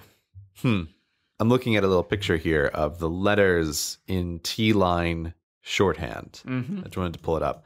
Yeah, uh, so I was entirely wrong. I was thinking you were doing it by sounds, but there is an alphabet. Yeah, there is. The thing that this reminds me of is my old Palm Pilot days, where Palm Pilot had a, a special alphabet that you had to write on the Palm Pilot in because it wasn't good enough to do true handwriting recognition. You had to write simplified versions of each of the letters. And the, the Teeline shorthand is reminding me of this that I used to be really good at writing at what was called graffiti, which was was a simplified version of each of the letters. And since I used a Palm Pilot all through college, I ended up writing lots of my notes in graffiti as opposed to writing them out in regular letters because I got I got so used to constantly on my Palm Pilot doing the the simplified alphabet. And like I'm just looking at the, letter A, for example, is exactly the same. That in graffiti you just do it as the yeah. as a quick up down. You don't bother with the with the across stroke or anything.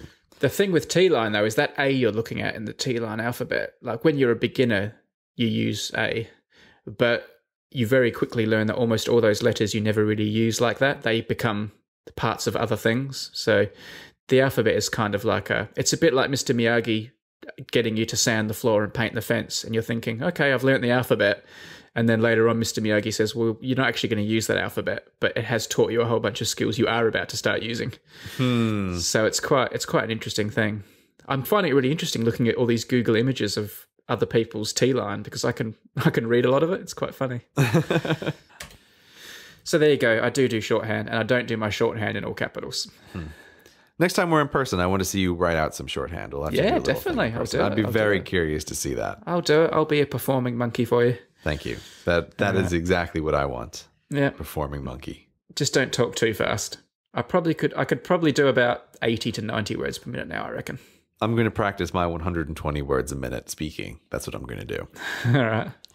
I'll, I'll play my old UK video and see if you can write that down in short. I definitely couldn't do any of your videos. I couldn't do you or Henry. You guys know Fracture, right? They're a regular sponsor here on Hello Internet, and I have to admit I'm becoming a little bit obsessed with them. What Fracture do is take your pictures, well, they don't take your pictures, you give them your pictures, but these pictures may have ended up forever buried in a folder on your computer or deep in some Instagram feed, and Fracture print them onto glass. Not behind glass, onto glass. You end up with a super clean and elegant piece with a special thin foam backing that can be hung on your wall in seconds. Now, anyone who's tried to frame their own pictures or paid for someone to do it will know this is either a tricky or a pricey process. Ease your pain. Give Fracture a try. Now, I've been looking through the FAQ on their website. That's fractureme.com. And I have to say, I was mightily impressed. It's one of the better FAQs I've seen. A few things I learned included the meaning of fracture, which apparently is a hybrid of frame and picture.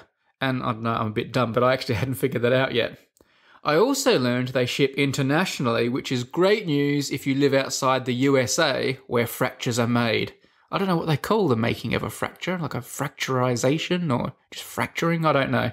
Anyway, I also learned in the FAQ all about all the different types of file sizes that you can upload for this process. I won't go into that now, but it's all there on the site, really simply explained, and they pretty much take everything you're going to want to upload. But here's the best bit of all you can order your very own fracture or fractures and let them know you came from Hello Internet, which is great for us, and get 15% off your order.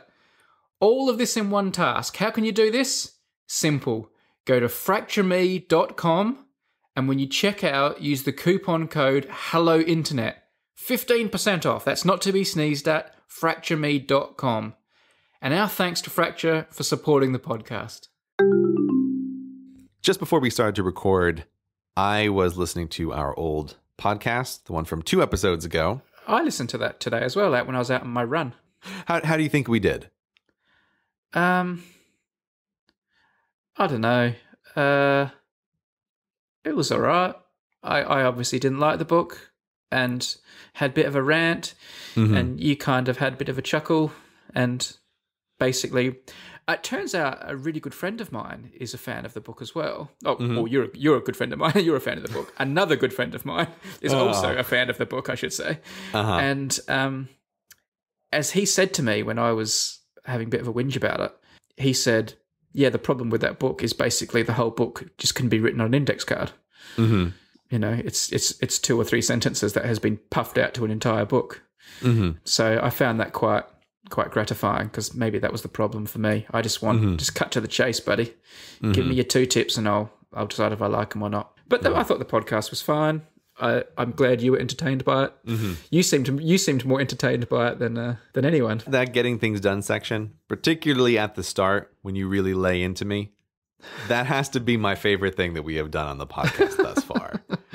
I, I thought that was that was just great. I really enjoyed that section. The listeners clearly enjoyed that section. Uh, I I just happened to check today our download stats, and we are over 150,000 downloads on that episode. So I think the I think the people liked it as well. I really enjoyed that section. Well, maybe I should give you a 20 minute section next podcast where you can tell me why the moon landings were faked. yeah we need to find more things that you can get you can get really livened up about No, y- if you do the why the moon landings were faked, that'd be like your revenge on me, laying into my passion. No no no I, I i would only bring up the moon landings being fake which they obviously are simply to get you riled up to defend it that's the only reason i would i would do something like like mention those totally bogus moon landings but we'll have to do that next time we'll do that All next time Right. Do you feel like we have unfinished business? Because obviously we didn't talk about everything in the book. Are there are there things still nagging at your mind? Okay, so here's here is one of the things that when I was listening to the episode, I, I, I was thinking. First, a, a broader point, which is that the the longer that we do this podcast, the more I have this feeling of how of how impossible it is to communicate with other humans. that even like I think this this is this is a perfect example of of we are we are not adversaries. Right? We're doing this thing together. We are listeners who give each other the benefit of the doubt but even when we talk about stuff, it, it, it is very interesting to me how hard it can be to communicate ideas to another person. And then, of course, as soon as it gets on the internet, it gets wildly distorted, even in, just in the Reddit comments. Yeah. And listening to that that GTD section to me was was another example of this of of listening to myself just failing to communicate thoughts inside my own head. I won't. I, I'm not planning to go through this on like a blow by blow, but it's it, it's just something that I have noticed over time with the podcast, and I've also felt from you sometimes. We've talked about later, like it's it's hard for you sometimes to feel like you're explaining to me a, like a thought that you have. Um, yeah, I mean, I've, i understand that, but I have to say I didn't get that from the Reddit. Like mm-hmm. looking at the Reddit, it seemed pretty cut and dry to me. It seemed like there were portion of people who sort of shared my thinking insofar as they thought the book was insufferably boring and therefore struggled to read it. And then there was another portion, perhaps a larger portion, because they were more vocal, of people who think the book had tremendous value mm. and uh, it has done a lot for them, or they think it has the ability to do a lot for them, and perhaps they wanted to know even more about it. Uh, but I didn't feel like there was, I didn't see a lot of stuff in the Reddit where I felt like people didn't get where you and I were coming from. People's reactions were very cut and dry, but it's, it's this phenomenon of time implementing the system versus time that is working. Okay, this is the joke I always make about you spending more time coming up with systems than actually using the systems to help yourself. I don't think that there is any way that I can give an impression that I do work as opposed to creating lists about work. Yeah. Because because when we talk about something, I'm always talking about the systems and the lists, right? And mm. I don't talk about the hours that are spent actually working because there's nothing to talk about. It's just boring. Like I'm just sitting down and I'm I'm doing work. And so there's great. The simple fact you think that's boring is the whole point.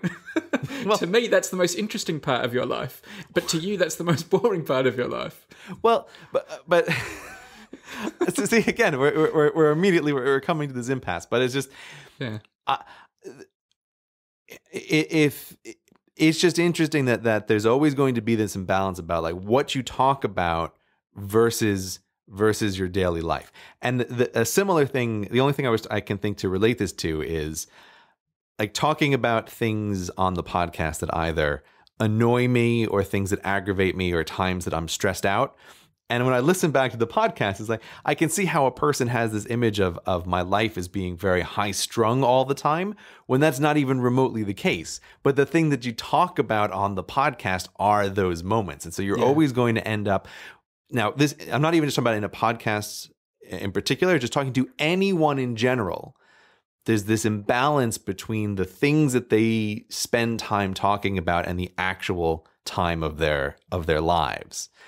And so with the with the getting things done, I feel like we didn't even touch on the whole reason why that system works really well for me is that I I spend a very small amount of time each week pre-planning the work for the rest of the week. Hmm. And the rest of the week I'm just doing it. So and, it's like a chef getting all his ingredients out for twenty for ten minutes, yes. and then spending an hour or two making the actual meal. This, yeah, this is this is a good comparison, but it's also why you can imagine that two chefs getting together could spend forever talking about the preparation phase, even though it is vastly less time than the actual working phase. What I wanted to just specify when you asked, like, why did this system work for me as opposed to other things? This was the big deal was was creating this separation between working me and planning me. And I, I know i'm always talking about like future me and past me like like these this i think it's useful to think about yourself in these different terms of present you, future you, and past you, and trying to set up the notion of deciding what you're going to work on in the future and trying to stick to it as closely as possible is an extremely helpful notion of I already decided what I'm going to be working on today so that when I get up, I'm not thinking, "Oh, what am I going to do today? Let me look at my lists." It's already it's already set. It's already clear for me because this is what now in my life I usually do this on Sunday mornings. I do my little bit of pre planning for the week, and then the rest of the week I shouldn't be doing that stuff. And that separation is surprisingly helpful to me. That's that's that was that was I think the the biggest thing that was missing from the conversation last week that we didn't really get to get to talk about. Do you long for spontaneity and sometimes not knowing what's going to happen during the week, or that sends chills down your spine and you want you like that? even the way you're framing it, I always find this so interesting because you you imagine that my life is is this life of of boring gray boxes that are all perfectly pre-planned and set up. And it's like I'm going to open all of these boxes in exactly this order, and I've I've yeah. decided, that. and like this is not my experience on a, on a daily life. It, it's it, your question is so far off. I feel like I don't even know how to how to answer it and it also presupposes that I am I am able to 100% of the time just just sit down and and magically work through all the things that I have planned. I, I don't always do that. Days go wrong, uh, things don't go according to plan. Like this happens all the time in in in my life. All right, great. Well, I'm aware that you have this suite of programs and software and things that I don't fully understand mm-hmm. made by this group called the Omni Group. And you've got Omni Focus and Omni Planet and Omni Do Up Your Shoelaces and Omni Diary and whatever. I don't know what they're all called. Uh-huh. Let me ask you this mm-hmm. How many times a day do you look at or open an application with Omni in its name? OmniFocus is almost always visible to me in some some way. Hmm. And the reason why I like it is because I do the pre-planning on on Sundays normally. Yeah. Right. And then what happens is during the week I've set aside times for various activities. And I have a little list for each of those activities. And so for ah. example, on my OmniFocus right now, I'm looking at it. One of those activities is writing. So there are times that are set aside for writing, which are happen to be times that I find unusually productive. Yeah. And so I don't really need to look at that list, but I do just open it so it's there and I see it. That list has on it the stuff that I should be working on right now. Well, Grey, I've I was following you on Twitter the other day, and the, and you and you famously like you know live tweeted during the day as this list you were doing with mm-hmm. a, a, red badge had like mm-hmm. 80 odd items and the number was getting lower and lower through the day mm-hmm. that doesn't sound to me like a light sunday morning planning my week over eggs and then don't look at it again this sounds like a list with a number counting down that was dominating your day that was the day where i was intending to upload two projects but ended up just uploading one project hmm. But what I have, okay, so one other one of the lists that I have, which is what I was going through that day, ah, was. Oh, no, there's another list now, is there? I have a list for each activity. Right. Sort of lists within lists.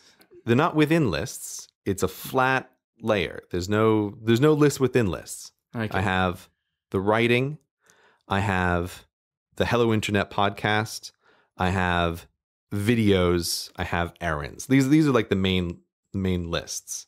Yeah. And so on that day when I'm intending to upload a YouTube video, I can open up the YouTube video list and I can see here are all of the things that I need to do today if I'm going to upload a video. Right. And so that's what I was working through. Now the, the the the OmniFocus list happened to be over 100 because I thought there's actually two things that were supposed to go up that day, a video and a podcast. Right. And so what I was doing was I was just grinding through basically a long checklist that I have set up of here are all the things that I need to happen when I upload a video. And I was finishing animating that morning, which is why it was an unusually long day.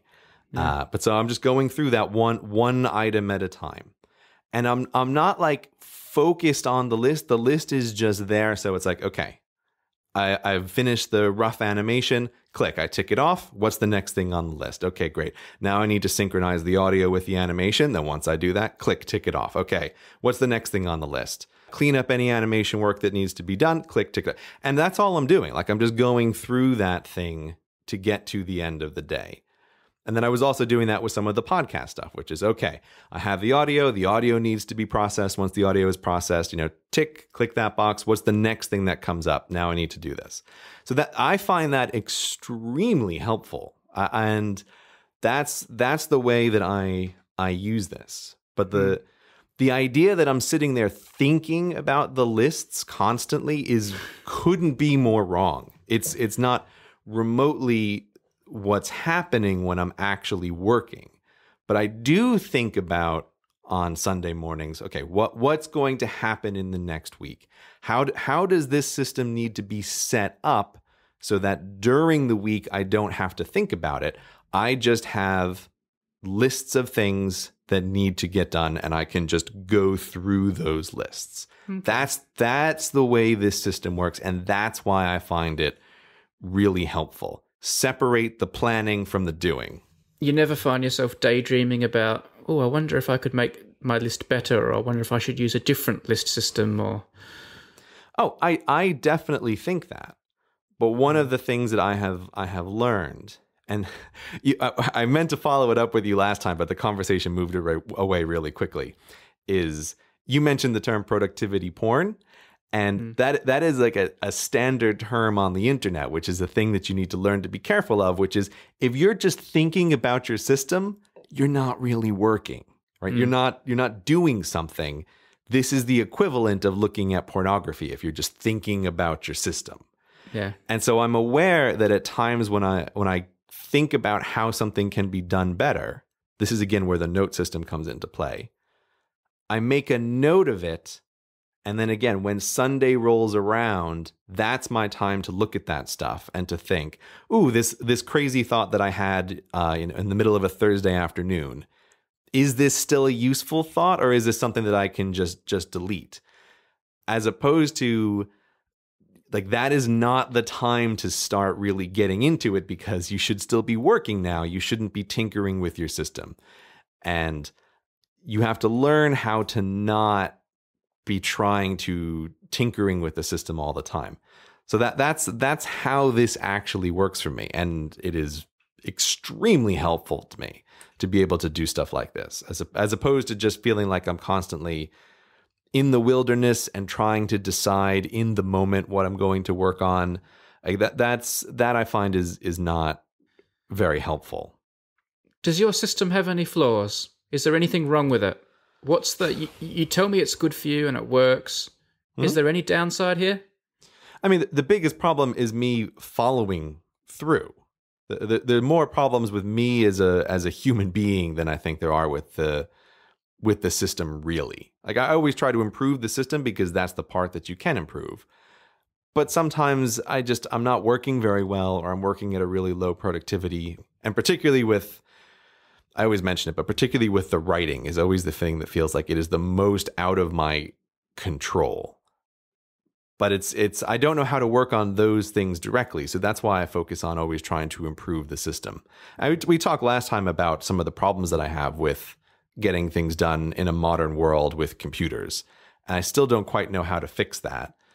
But my my system is something that is adapted to me over years now of tweaking and trying to make it a little bit better at a time. So I think it's for me as a person, this is the best thing that I I have. Without going into details, obviously, because mm-hmm. it's it's not my business, but does your wife use the system?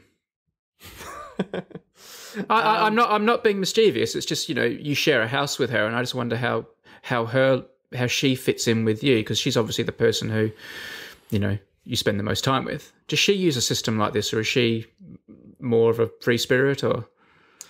Yeah, she, uh, she, she. I mean, she doesn't use anything remotely close to my system. Right. Uh, I know that she keeps lists of things that she needs to do, but I think she does it in the much more informal way that most people do it, where they have they have lists.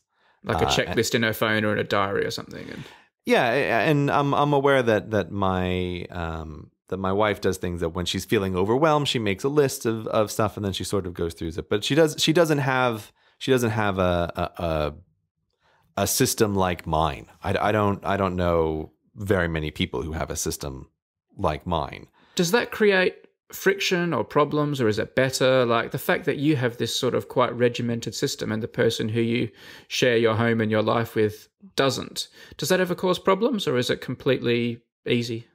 No, it's it's nothing but great. And this is where uh, again I I have uh, uh, independent evidence that I am better now than I used to be because my wife she knew me just around the time when I was starting to do getting things done. Hmm. She I, I would have met her yeah, al- almost exactly the time I would have read that book and I started to put all this stuff in place. And she is the first one to acknowledge that I am a way better, way more reliable person than I ever used to be.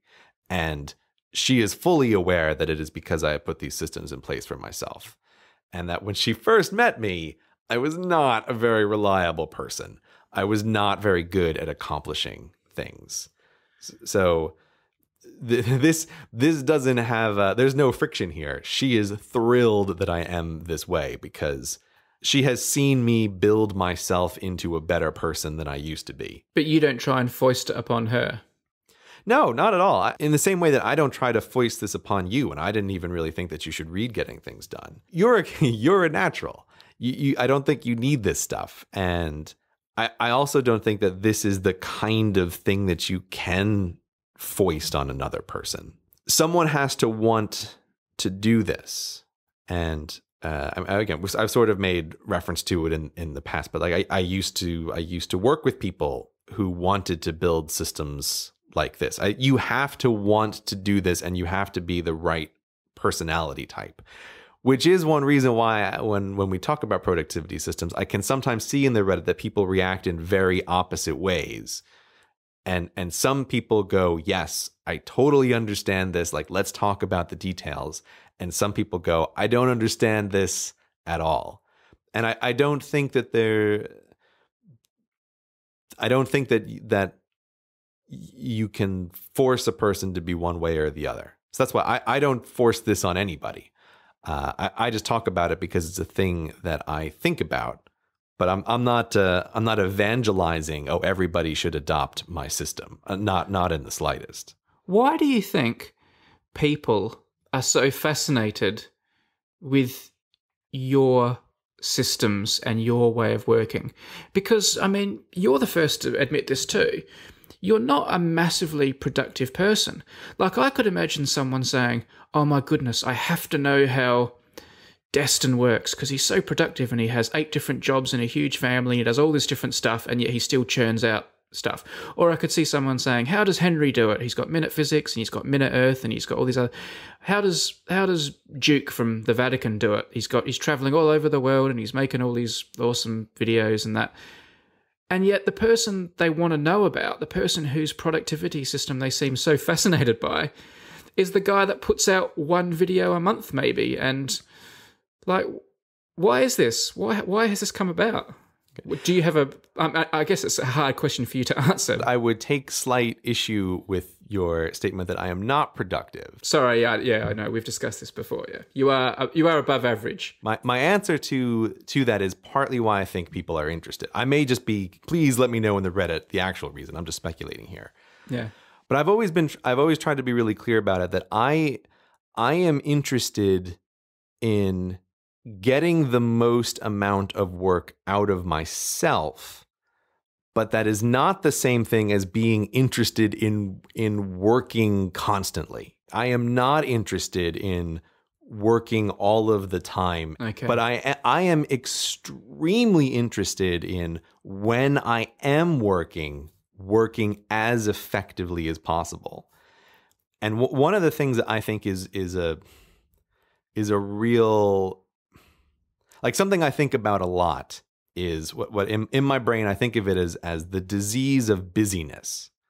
That it's really easy for people to be busy all the time. And I think some people like to feel that they are busy with work. They're busy, busy, busy, busy, busy.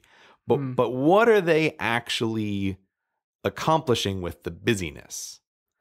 And so I, I I have very much tried and been successful of removing an enormous amount of busyness from my life because I, I try to be really ruthless and say, if I am working, I'm really working. And what have I really done? I have written another draft of a video, which is the best kind of thing that I can do.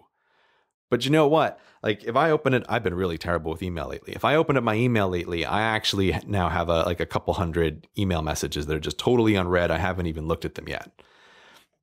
And I'm not concerned about that because the best kind of work that I can do is bringing a video closer to release, which is what I've been focused on for the past couple weeks and it's why I have another video out now.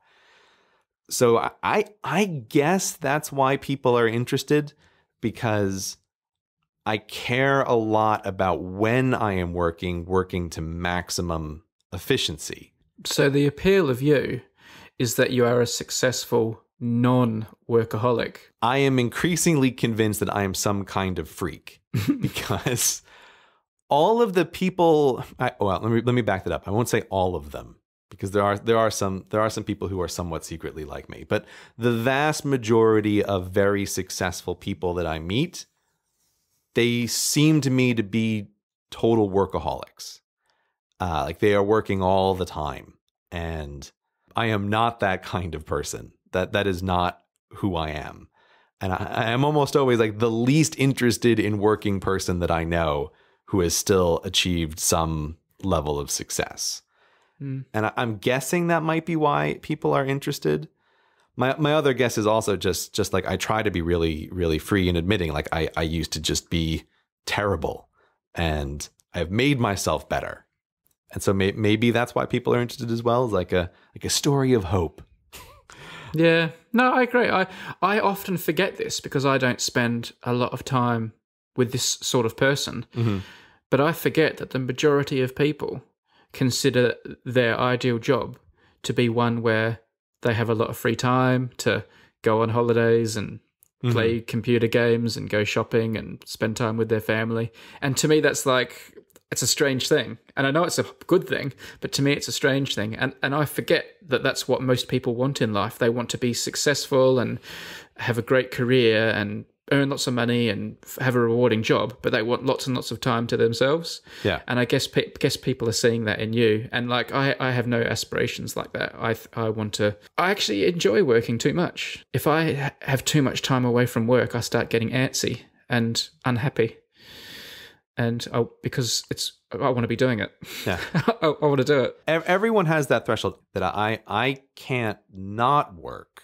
That if I don't work, I also start to feel just kind of depressed. Like oh, Hmm. like what what is the point of anything? So so my threshold for work is not zero. I have to do something. I will always have to do something. Hmm. But I think most people who have that feeling have it much more like you do, where they feel like they want to be working much more than me. If, if my threshold is something like 25%, your threshold is somewhere around 95%. That that you you do want to be working quite a lot. And I feel like I can satiate that need for work much sooner than you can. If you were able to peer into our brains, that is the difference. Whereas I, I I am very happy to to not work and I and I really focus on trying to keep those edges crystal clear of am I doing work now? Because if I'm doing work, I want to always be working on the most important thing that has the most impact to my business. And then if I'm not doing the most impactful thing, well, then then I'm okay just now I'm not working. Now I'm just going to relax. Now I'm going to play a video game or now I'm going to read or now I'm going to explore someplace. Like that that that's how my life is is divided up. Okay.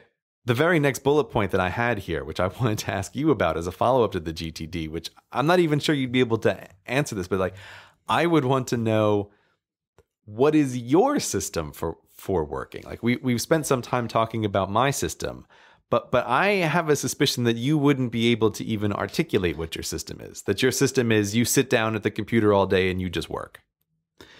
I mean, that's kind of right. I did see that note. I did see you'd written in the show notes Brady system question mark before I went for my run, and it made me think, what is my system? Uh huh. And I mean, in some ways, you're right. And then I'm very scatty, and I just jump from thing to thing, whatever takes my fancy. And I do have a weakness that you will not have, and that is stuff does fall through the cracks a lot more with me because they don't get written down as much. I mean, I put I put all important things into my calendar so I don't miss appointments, and days I have to pay my tax, and um, things like that. Hello Internet podcasts, of course, Mm-hmm. Yes, thank which you. you seem to, which you seem to have taken control of in my calendar, which is amazing. Um, Voodoo witchcraft. but if I had to define my system in a on an index card, Mhm. I would say it goes along the lines of I get up in the morning and I do the thing that I'm most excited about Mm-hmm. and the thing I most want to create and the thing that I'm most enthused by and things that I'm not enthused by but have to be done get done at the last moment they can be done and still be finished in time. Mm-hmm. So a cool video about a mile of pi will be edited the day after I film it Right. because I'm so excited to make that video. Whereas doing my tax will be done the day before my meeting with the accountant Right. because that's the last day I can do it before it has to be done. Yeah.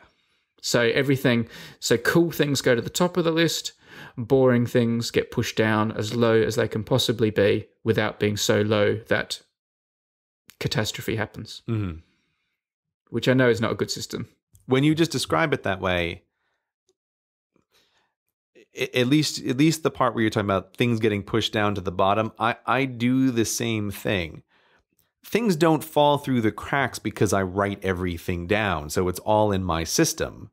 But i'm i'm much more aware of making conscious decisions to not do things now because there, there's always an infinite number of things that can be done with a business. And so yes something like taxes definitely gets pushed off until the point when it becomes urgent and important like oh this needs to be done now. This is a problem that stuff gets gets pushed away but it's usually because i'm pushing higher priority tasks to the front but there's always an infinite number of business stuff that can be done and and lots of lots of tasks which are very low value tend to just not get done in my system because I'm making a judgment that they're very low value. But I leave them in because I want to still have, I want to be able to survey the field of all of my possible options and make decisions about what needs to happen. But the, the only other thing that I would say is that I have learned, and I think this is partly just because my projects take longer than yours do, that I cannot rely on interest or motivation to uh, direct my work that is deadly for me because I will always become more interested in a new project faster than I can finish the old one. And so part of this system for me is trying to make sure that I keep working on something longer than the point at which I am just naturally interested in it. But don't you get the payoff from the moment it's created? Like that really drives me. Like if I have some idea for a, a video and it involves a really really tedious animation because I'd sometimes do those things too that take like 2 days in Photoshop of just moving things around. What was it? The, the knight one, the the knight on the board. You spent forever. Yeah.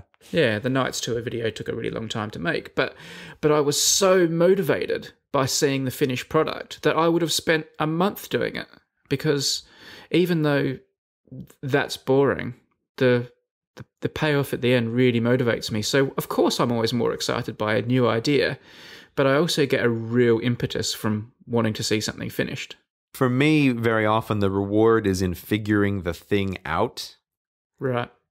and then I I have some there's like a half life of interest in the thing, which I'm I often feel like I'm racing against to finish to finish the drafts of the video and then to get it animated as quickly as possible after that. But what about the thrill of the reveal?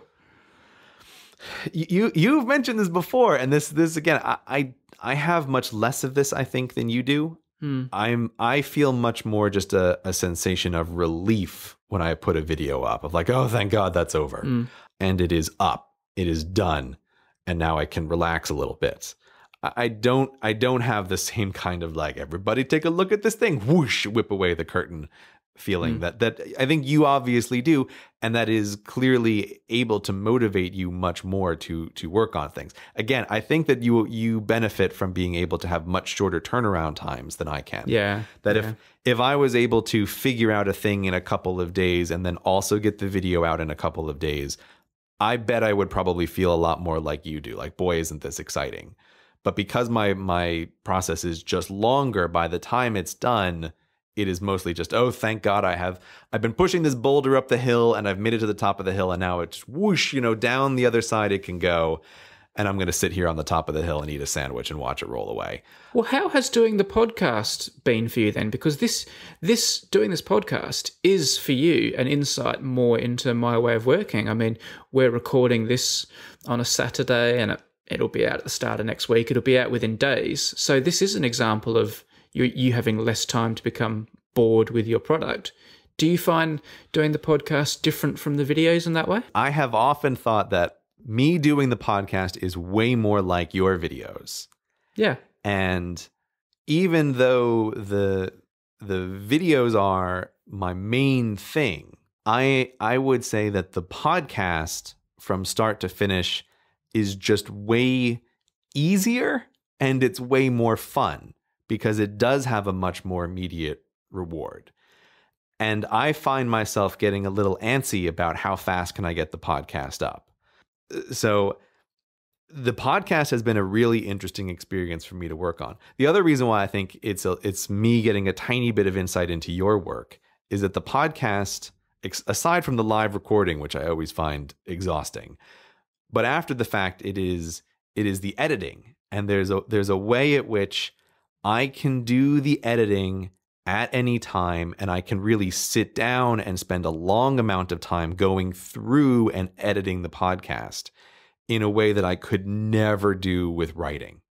I have sat down with the podcast for four hours straight and edit, and then I get lunch and then I go right back at it. And I can do that on a weekend in a way that is just impossible for me to do with writing. So it is a very different kind of work and it has been a really interesting experience and I think yes it is is much closer to to your work or it's at least as close as I'm ever going to get to the kind of work that you do. I guess with the podcast like once we've recorded you've got your clay and that's all the clay you're ever going to work with whereas right. when you're writing sometimes you're just sitting there waiting for clay to fall down from heaven and sometimes it just doesn't fall yeah that's the, that's the frustrating thing with writing whereas with the podcast there's there's only one way things go which is cut and the question is what is the point at which you don't cut anymore and it's mm. it's just a much more straightforward task and it's and again the thing that amazes it's a task i can do at any time whereas i'm i'm i have learned and this comes back to my obsession with being productive when i'm working that between the hours of 1 p.m. and 5 p.m., I might as well just never write anything because nothing I ever write during those hours is good. If I'm going to write, I need to write in the mornings or in the evenings, but afternoons are just death. Whereas I can edit the podcast at any old time. I can edit it in the afternoon. I've, as you've known, I've occasionally I wake up really early in the mornings. Like I don't know why. Sometimes my brain just says, "Oh, three in the morning, it's time to get up." And I'm really happy when I have a podcast that we've recorded and I wake up early in the morning because it's like, right, okay, this would normally be a wasted day, but I can just sit down and start getting to work. And it's it's nice to have something like that to work on. Mm, more like Grey. You've got it to work on now.